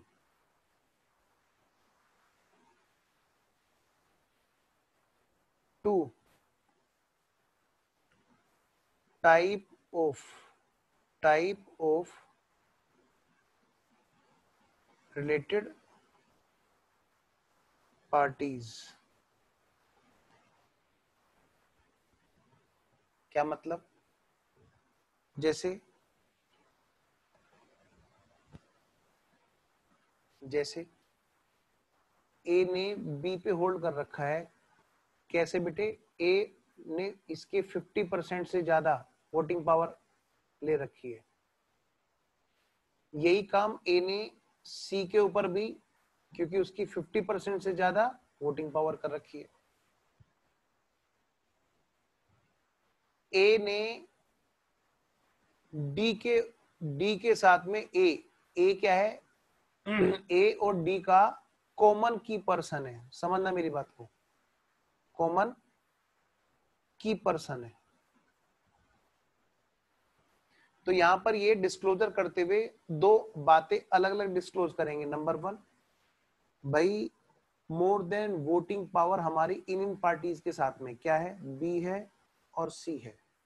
number two ये हमारे कॉमन की पर्सन है। हमारा जो की पर्सन है वो कॉमन है डी के साथ में। तो हमने क्या किया बेटे, यहाँ पे ग्रुपिंग्स कर दी। ग्रुप बना दिया। हो सकता है वहाँ पर और भी पार्टी जो जिनकी वोटिंग पावर 50 परसेंट से ज़्यादा हमारे पास में हो। तो हम हम एक बार लिखेंगे वोटिंग पावर 50 परसेंट से ज़्यादा। मोर देन 50 परसेंट की वोटिंग पावर वाले लोग सबके नाम यहाँ पे लिखे हुए हैं जी। ठीक है? कॉमन की परसेंट है हमारा जिसके साथ में, उनके नाम यहाँ पे लिखे हुए हैं जी। तो मतलब कुल मिलाकर क्या है? हमने क्या कर दिया? उनकी ग्रुपिंग्स बना दी एक तरह से। ठीक है बेटे? और वो ग्रुपिंग हमने क्या किया? इसमें मर्ज कर दी। ठीक है जी? आओ जी। एक लास्ट पॉइंट और बता दूँ, फिर हमारा एक खत्म है लगभग। खत्म ही है, बस ये तो ये है कि कुछ एक्स्ट्रा बातें इधर उधर की घुमा फिरा के बताई जा रही है ताकि लगे कि भाई हमने कुछ पढ़ा। ठीक है? How disclosure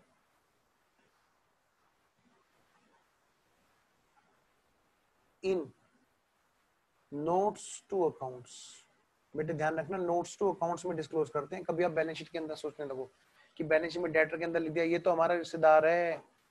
क्रेडिटर के अंदर लिख दिया, ये तो हमारा रिश्तेदार है। नहीं बेटे नोट्स टू अकाउंट्स में ये सब बातें डिस्क्लोज की जाती हैं। जितने भी हमारे डिस्क्लोजर वाले अकाउंटिंग स्टैंडर्ड है, वो बात ही किसकी करते हैं? नोट्स टू अकाउंट्स की। How disclosures in notes to accounts लिखिए बेटे।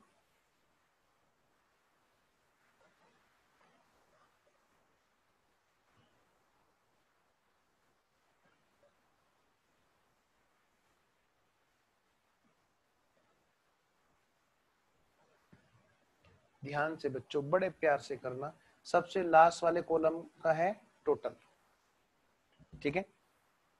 ये हमारे रिश्तेदार हैं जी, ये किसका कॉलम है? हमारे रिश्तेदारों का रिलेटिव से, चाहे वो राम से, श्याम से, चाहे वो हस्बैंड से वाइफ से, बीबी, बच्चों, जो भी है मतलब या हमारे मामा, चाचा मतलब जो भी हमारा रिश्तेदार है, हमने उन सब का ग्रुपिंग्स करके यहाँ पे लिख दिया।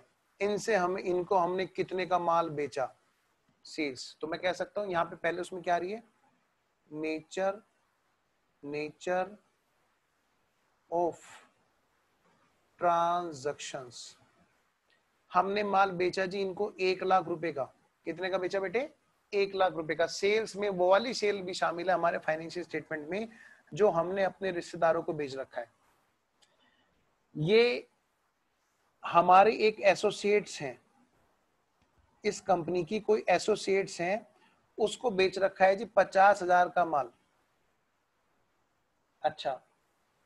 एक है जी यहाँ पर, ये है जी हमारी होल्डिंग कंपनी, हमारी होल्डिंग, जिसने हमारे 50 परसेंट से ज़्यादा शेयर खरीद रखे हैं मतलब हम जिसके द्वारा कंट्रोल होते हैं। और जी हमने उनको माल बेच रखा है। उनको हमने बेच रखा है जी दो लाख चालीस हज़ार का माल बेच रखा है जी। उन्होंने कहा था, सारा माल हमें बेचोगे, वो तो हमने किसी तरह से बचा लिया कि बाकी हम किसी और को बेच दें। एक हमारी जी सब्सिडरी है। अच्छा हमारी सब्सिडरी है, उसको हमने जी पचपन हज़ार का माल बेच रखा है। एक हमारी इस सब्सिडरी की भी आगे सब्सिडरी है। मतलब मैं कह सकता हूँ fellow subsidiary A control B B control C तो मैं सी की बात कर फेलो सब्सिडरी ए कंट्रोल करता है बी को। तो वो बन गई हमारी सब्सिडरी वो आ गई इसमें। मैं कॉलम की नंबरिंग कर दूँ क्या? वन टू वन में वो आ गया जि, जिसकी हम सब्सिडरी हैं। टू में वो आ गया जो हमारी डायरेक्ट सब्सिडरी है। थ्री में वो आ गया जो हमारी सब्सिडरी की आगे सब्सिडरी है। ठीक है? उसको हमने बेचा था जी पैंतीस हज़ार रुपए का माल। हमने जी इनसे माल खरीदा भी था। Goods purchased. हमने जी इनसे खरीदा था, साठ हज़ार का माल खरीदा था, इनसे जी बीस हज़ार का, इनसे दस हज़ार का, इनसे नहीं खरीदा जी, हमसे, हमने इनसे खरीदा था जी तीस हज़ार का। तो कुल मिलाकर तुमने अपने रिलेटेड पार्टी को कितने की सेल की, मैंने कहा सबको जोड़ देते हैं जी। देखें जी कौन सा बच्चा मुझे सबसे पहले टोटल करके बताएगा। बोलो बेटे, बोलो। दो चालीस है। तीन और पाँच आठ और एक नौ। नौ और चार तेरह। बोलना बेटा इसका टोटल इन सब का टोटल बताओ। ये एक लाख है, ये पचास हज़ार है, ये पैंतीस और पचपन है। चार लाख अस्सी हज़ार। मुझे एक बच्चे ने बताया चार लाख अस्सी हज़ार। लो बेटे, चार लाख अस्सी हज़ार की टोटल सेल्स है, जो हमारी रिलेटेड पार्टी की सेल है। मतलब हमारी अगर सेल है एक करोड़ उसमें से इतनी सेल है जो हमारी रिलेटेड पार्टी के तो उनकी हम डिटेल डिस्क्लोज करेंगे। किस किस रिलेटेड पार्टी को कितने कितने का माल बेचा? अच्छा ये बात है। हाँ।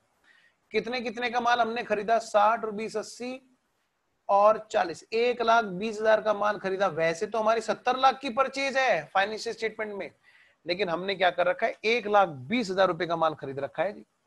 और सुनो, हमने ना असेट फिक्स एसेस खरीदी परचेज ऑफ़ फिक्स एसेस खरीदी। हमने ना अपने रिश्तेदारों से फिक्स एसेस खरीद ली। किससे? कि जी, हमारी फेलो सब्सिडी है, वो बेचती है, और कोई बेचता ही नहीं जी। हाँ उससे हमने एक लाख रुपए की फिक्स एसेस खरीद ली जी। अच्छा हाँ जी।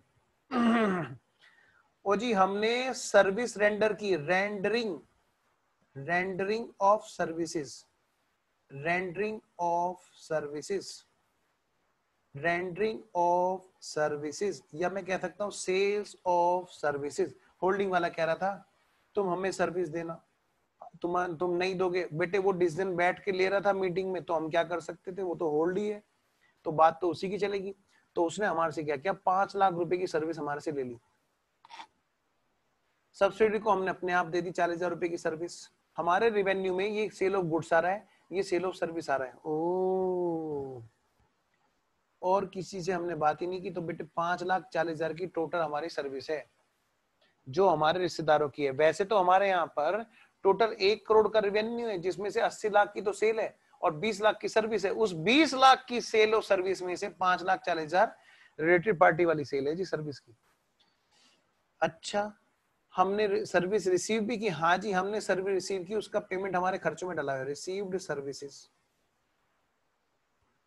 बीस हज़ार की इनसे ली जी, पाँच हज़ार की इनसे ली, चार चार, चालीस हज़ार की इनसे ली। अच्छा इनसे नहीं ली इनसे तो दो हज़ार की ली। टोटल कितना हो गया जी?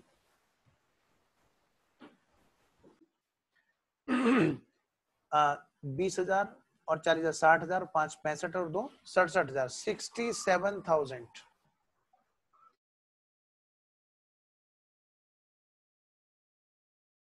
जो चलो जी। बस कुल मिलाकर के यही बात है बेटे। यही बात है बस, और कुछ नहीं। ठीक है? ऐसे और भी कोई काम कर रखा है तो हम उसको भी यहाँ पर लिस्ट में डाल देंगे, बता देंगे हमने कौन से रिलेटेड पार्टी से काम किया। ठीक है जी? ये हमारा अकाउंटिंग स्टैंडर्ड 18 आपको कुछ क्वेश्चन दिखाऊँ? आओ जी क्वेश्चन करते हैं जरा। क्वेश्चन करते हैं जी।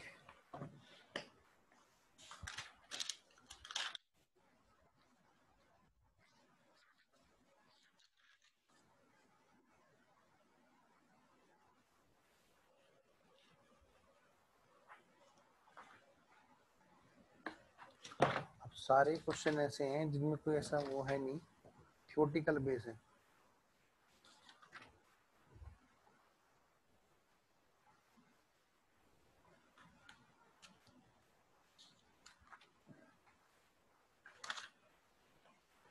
चलो एक क्वेश्चन मिल गया जिसको हम कह सकते हैं कि हाँ भाई चलो करने लायक है क्लास आओ जी।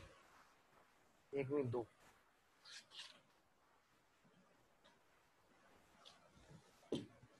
लो बेटे।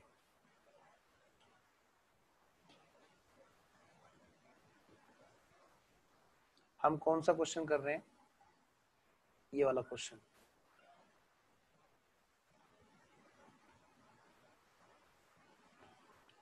पढ़ो बेटे क्वेश्चन पढ़ो।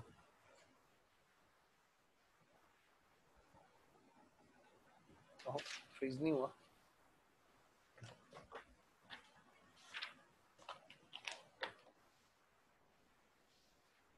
लो जी।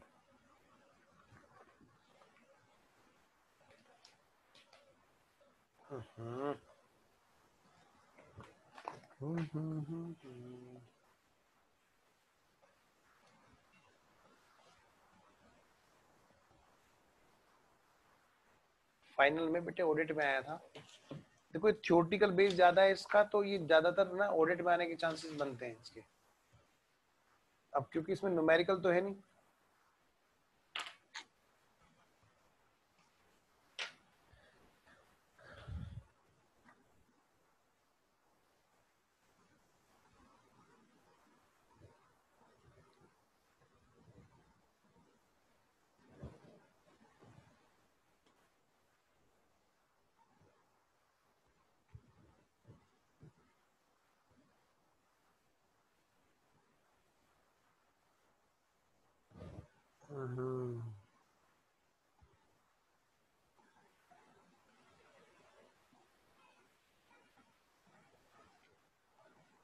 पढ़ लिया होगा।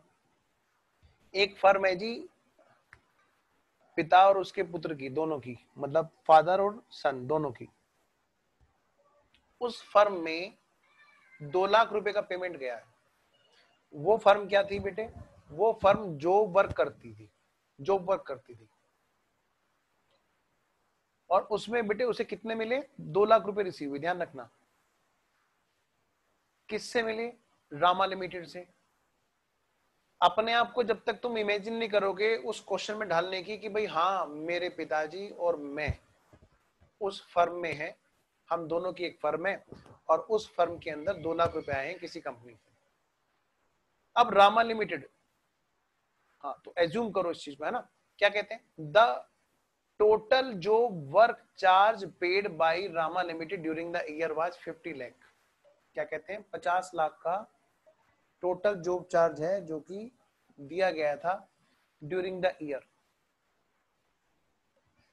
the father is managing director of Rama limited having substantial holding the managing director MD मतलब फादर जो है, वो रामा लिमिटेड में एमडी भी है. अब आप समझ ही सकते हैं इन्फ्लुएंस तो हुआ होगा, है ना? अपने आप में देखो, हमने बोला इन्फ्लुएंस तो हुआ होगा. ये क्या है, हमारी एक प्री एजम्पन आ गई अपने आप ही. क्योंकि पिताजी अगर वहाँ पे हैं तो वो क्या करेंगे? बच्चे का भला तो करेंगे करेंगे बच्चों के लिए तो जीता है इंसान, या माता पिता के लिए। तो मैं ये कह रहा हूँ कि अगर वो वहाँ पर है फर्म में तो वो क्या करेंगे? अपने बच्चे को कॉन्ट्रैक्ट में दिलाएँगे? बिल्कुल दिलाएँगे जी। तो क्या कहते हैं? The father of M D of Rama limited having substantial holding है ना? The M D told the auditor MD ने पचास बार कहा, इस चीज़ को अपने ऑडिटर को। ऑडिटर कह रहा भाई, कुछ तो हुआ है। वो कह रहा है, कुछ नहीं हुआ है। वो कह रहा है, नहीं नहीं, कुछ तो हुआ है। तो मैनेजिंग डायरेक्टर क्या कर रहा है? ऑडिटर के हत्ते चढ़ गया। और उसने ऑडिटर से कहा कि, भाई साहब since he is not involve in the activities of firm की, भाई साहब, मैं फर्म में कुछ भी नहीं कर रहा हूँ। जो भी कर रहा है, मेरा बेटा कर रहा है। मैं, मेरा कोई इन्वॉल्वमेंट नहीं है। और इसलिए, भाई साहब, आप ये मत मानो, ठीक है ना? ये इनसिग्निफिकेंट है, कोई सिग्निफिकेंट वो नहीं है influence there is no need to disclose separately वो हाथ जोड़ रहा है ऑडिटर के ऑडिटर में फंस गया होगा। ऐसे ही करते हैं बेटे कंपनी में ऐसे ही करते हैं। भाई, इसको मत डिस्क्लोज कर। क्यों ना करो भाई? कल को मेरे ऑडिटर का सर्टिफिकेट फंसा तो सीओपी मेरा सर्टिफिकेट ऑफ़ प्रैक्टिस फंस गया तो। तो क्या कहते हैं? ऑडिटर ने पकड़ रखा है और वो कह रहे कि, भाई प्लीज़ छोड़ दे कि डिस्क्लोज मत कर। मैंने कुछ नहीं किया। वो अपना इंडिपेंडेंटली काम कर रहा है। ठीक है? ये इस बात का देर इज़ कह रहा है कि एमडी कह रहा है there is no need to disclose the transaction he further contended that कि और तो और ये जो पेमेंट है ये जो made in last year was not disclose तो क्या कहते हैं? उसने बेटे पिछले साल ऑडिटर को मना लिया होगा, उसने डिस्क्लोज नहीं किया होगा कि भाई साहब, देखो पिछले साल भी नहीं दिखाया था, आप इस बार भी मत दिखाओ। क्या मतलब? हो सकता है बेटे पिछले साल कोई और ऑडिटर रहा हो, है ना? तो वो ऑडिटर से बार बार कह रहा है कि भाई मत दिखा मत दिखा, देख पिछले साल भी नहीं दिखाया गया था। तुम क्यों दिखा रहे हो इसको? सेपरेटली क्यों दिखा रहे हो? क्यों बिना बात के इनकम टैक्स की नज़र में मेरे को स्पेशली हाईलाइट कर रहे हो? बेटे अब आपसे पूछा गया, बताओ भाई आपके हिसाब से क्या होना चाहिए? तो आप आंसर कैसे करोगे? एग्ज़ाम में आप बैठे हो और आपके सामने क्वेश्चन आ गया, चाहे वो ऑडिट में आ गया, चाहे वो अकाउंट्स के पेपर में आ गया तो आप इसको आंसर कैसे करोगे? बेटे, मुझे बताओ, क्या ये रिलेटेड पार्टी है? नंबर एक बात।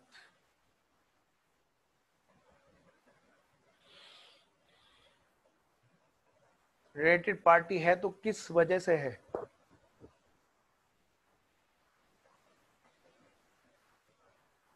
बहुत सारी वजह हैं, बहुत सारी वजह हैं। पहली बात तो उसका बेटा है, यही सबसे बड़ी वजह है।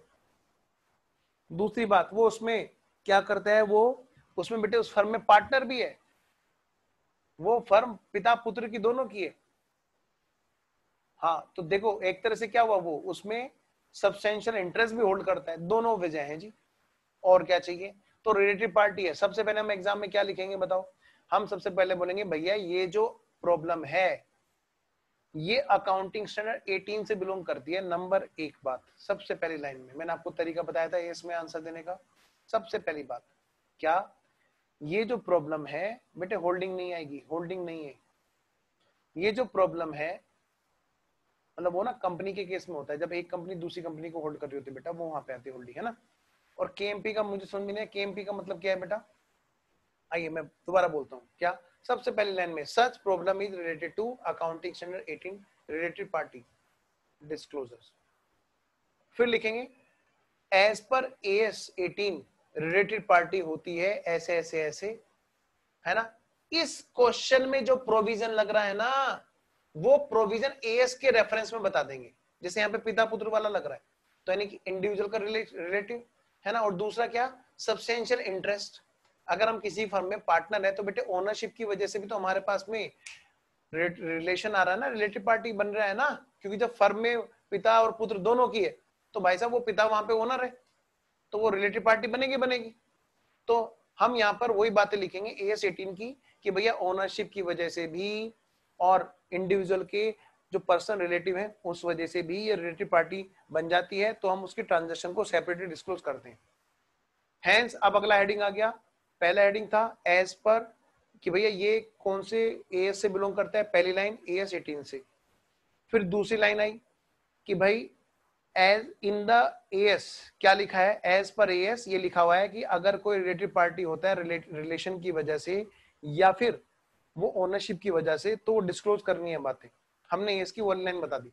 सारा एस मत लिखने, बैठ जाना। फिर तीसरी line in the given case वो पिता पुत्र की फर्म है तो उनका ओनरशिप की वजह से रिलेशन रिलेटेड पार्टी है और साथ में खुद क्योंकि वो पिता और पुत्र का रिलेशन है इसलिए भी ये रिलेटेड पार्टी बन जाता है। हेंस जो भी जो चार्ज वहाँ पर पे किया गया वो डिस्क्लोज किया जाना ज़रूरी है। कंक्लूजन ठीक है बेटे? आओ जी आगे बढ़ते हैं। की, की, अच्छा की मैनेजमेंट पर्सन वेरी गुड अब समझा के मतलब आप? की मैनेजमेंट पर्सन भी।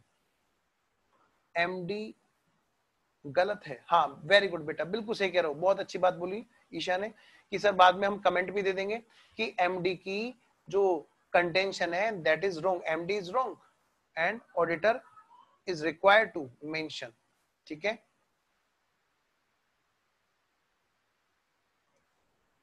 ठीक है जी आओ जी, एक और करते हैं, एक और क्वेश्चन करते हैं।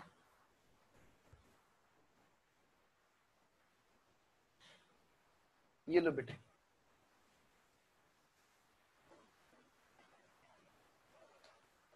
ये वाला क्वेश्चन पढ़ो बेटे। दिस वन और मैं सॉल्यूशन भी यहीं पे रख रहा हूँ सामने।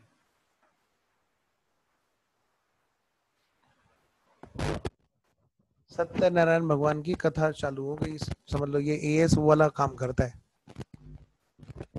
और नींद आ जाती है इसमें।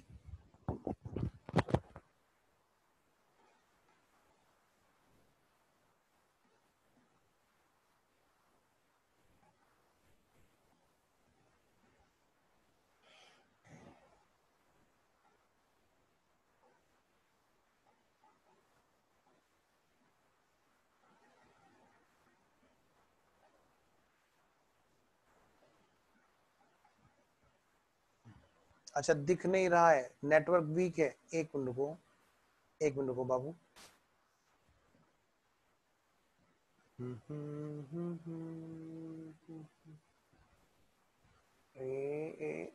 यस अभी बताओ बेटे, अभी बेटर है बेटा? One two three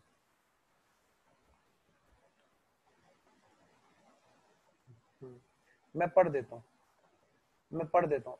If a parent owns along with it subsidy मतलब बेटे ये क्या कह रहा है कि अगर एक होल्डिंग कंपनी है और वो अपनी सब्सिडरी के साथ मिलकर के किसी कंपनी की, किसी एंटिटी की 50 परसेंट से ज़्यादा वोटिंग पावर होल्ड कर लेती है। मतलब मैं कह सकता हूँ ए ने पकड़ रखा है बी को होल्ड कर रखा है।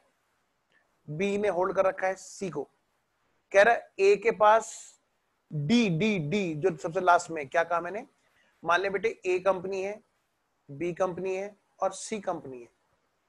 ए ने बी को होल्ड कर रखा है बी ने सी को होल्ड कर रखा है, ठीक है?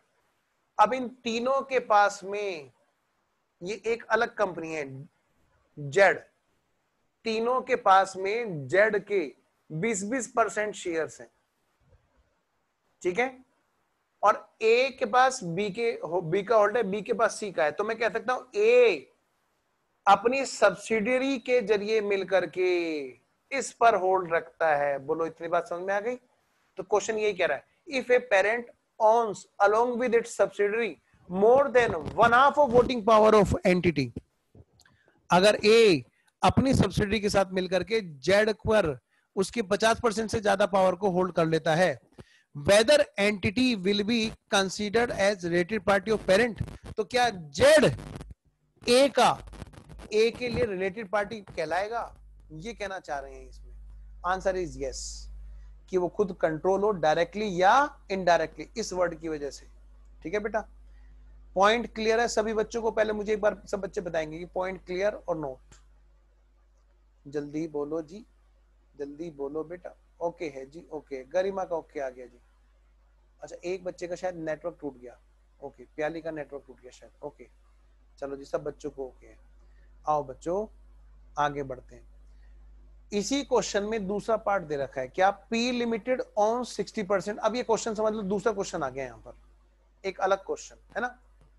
बस इसी क्वेश्चन में सेकंड वाला पार्ट हो गया। क्या पी लिमिटेड है? हाँ जी। उसके पास साठ परसेंट पावर है, किसकी? क्यू लिमिटेड की।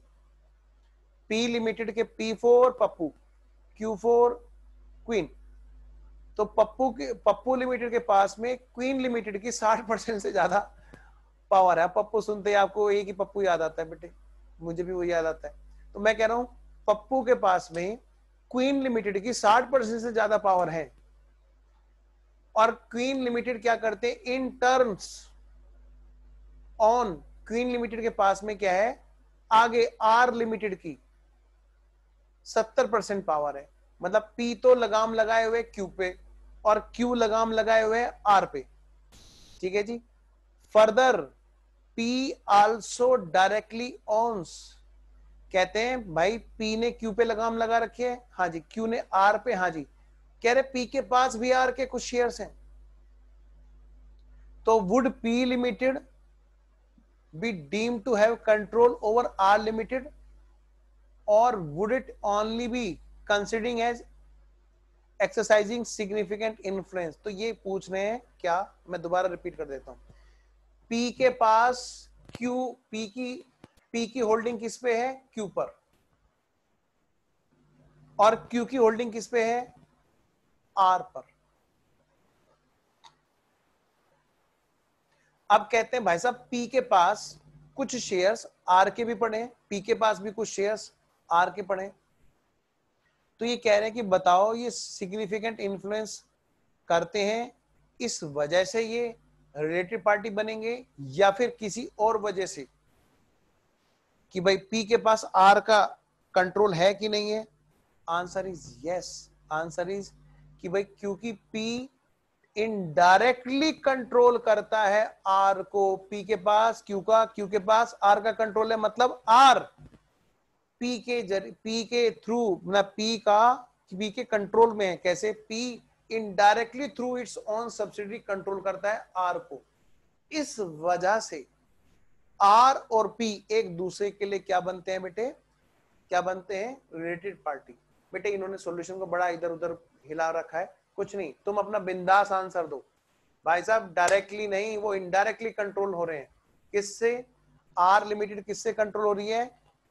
पी से कंट्रोल हो रही है indirectly through their own subsidy P ने अपनी सब्सिडी के साथ में मिलकर के आर को कंट्रोल कर रखा है। तो पी के लिए आर और आर के लिए पी बन जाएगी रिलेटेड पार्टी ठीक है जी? बात समझ में आ रही है बेटे? इसी तरह के क्वेश्चन है। पढ़ पढ़ के थ्योरी पढ़ पढ़ के उसमें फिट करता जाना है आपको। और कुछ नहीं, जैसे नीचे देखो एक और क्वेश्चन है। करें जी, ये वाला यहाँ तक ओके है, पहले मुझे बताएँगे। क्या ये वाला पॉइंट ओके है जो अभी अभी हमने क्वेश्चन में सेकंड पार्ट पढ़ा? ओके है। चलिए जी ओके है। ओके निशिता का ओके है, ईशा का ओके है। अच्छा गरिमा और उर्वशी नाराज़ है इसका मतलब। गरिमा और उर्वशी, तुम्हें समझ में आया कि नहीं आया? बेटे जल्दी से बताओ। तुम्हारा ओके नहीं आएगा तो आगे नहीं बढ़ेंगे। उर्वशी का ओके आ गया, गरिमा का भी आ गया। गरिमा ने भी अंगूठा दिखा दिया। डन आओ बेटा। अगला क्वेश्चन पढ़ो बेटा। पी लिमिटेड है sixty percent voting power in Q limited P के पास किसकी वोटिंग पावर है बोलो? क्यू की। मतलब पी ने क्यू पे लगाम लगा रखी है। सीधी सी बात है पी के कंट्रोल में है क्यू और क्यू के पास 20 परसेंट वोटिंग पावर है बेटे। क्यू के पास क्या है बेटे? 20 परसेंट वोटिंग पावर है। आर की। ठीक है? P limited directly enjoy voting power कितना? 14 परसेंट इन आर पी के पास में आर के 14 परसेंट शेयर हैं। ठीक है? पी के पास में क्यू के तो है ही। कह रहे क्यू के पास में 20 परसेंट है आर के? हाँ जी। कह रहे हमारे पास, यानी पी के पास में भी चौदह परसेंट है। पर कितने होंगे बताओ जरा देखो तो सही। चौदह परसेंट चौदह परसेंट तो वो ले आए। पी पी खुद ले आई। और क्यू से मिल गए कितने बताओ बेटे? कितने मिल गए जी? बीस परसेंट। कितने परसेंट हो गए टोटल मिलाकर के? ये कितने हो गए जी? ये है जी कितने? चौतीस परसेंट हो गए। तो मैं कह सकता हूँ 20 परसेंट या उससे ज़्यादा वोटिंग पावर इकट्ठी हो गई, चाहे डायरेक्टली और चाहे इनडायरेक्टली ठीक है जी? तो मतलब वो उसकी रिलेटेड पार्टी बन गई। सीधी सी बात ये ठीक है जी आई रिपीट वो उसकी रिलेटेड पार्टी बन गई। किस लिए? क्योंकि वेरी गुड बिल्कुल सही कहा। सिग्निफिकेंट इन्फ्लुएंस की वजह से। ठीक है बेटे? नेक्स्ट पॉइंट पढ़ो, इसी के अंदर क्या लिखा है? कह रहे हैं एंड रेगुलरली सप्लाई टू क्या? R limited is a listed company और वो रेगुलरली सप्लाई करती है पी लिमिटेड को गुड्स ठीक है? मैनेजमेंट जो है आर लिमिटेड का है। वो नहीं दिखाता कि भाई वो पी लिमिटेड की रिलेटेड पार्टी है। Assess the situation from view point of of A S eighteen आप बता दो कि भाई साहब ए एस एटीन में क्या है कि सिग्निफिकेंट इन्फ्लुएंस बनता है? वो डायरेक्टली या इनडायरेक्टली किसी भी तरह से हो सकता है, ये मत सोचो कि पी ने पी के पास डायरेक्ट आपके 20 परसेंट शेयर नहीं है तो वो सिग्निफिकेंट इन्फ्लुएंस नहीं है। नहीं जी। क्या?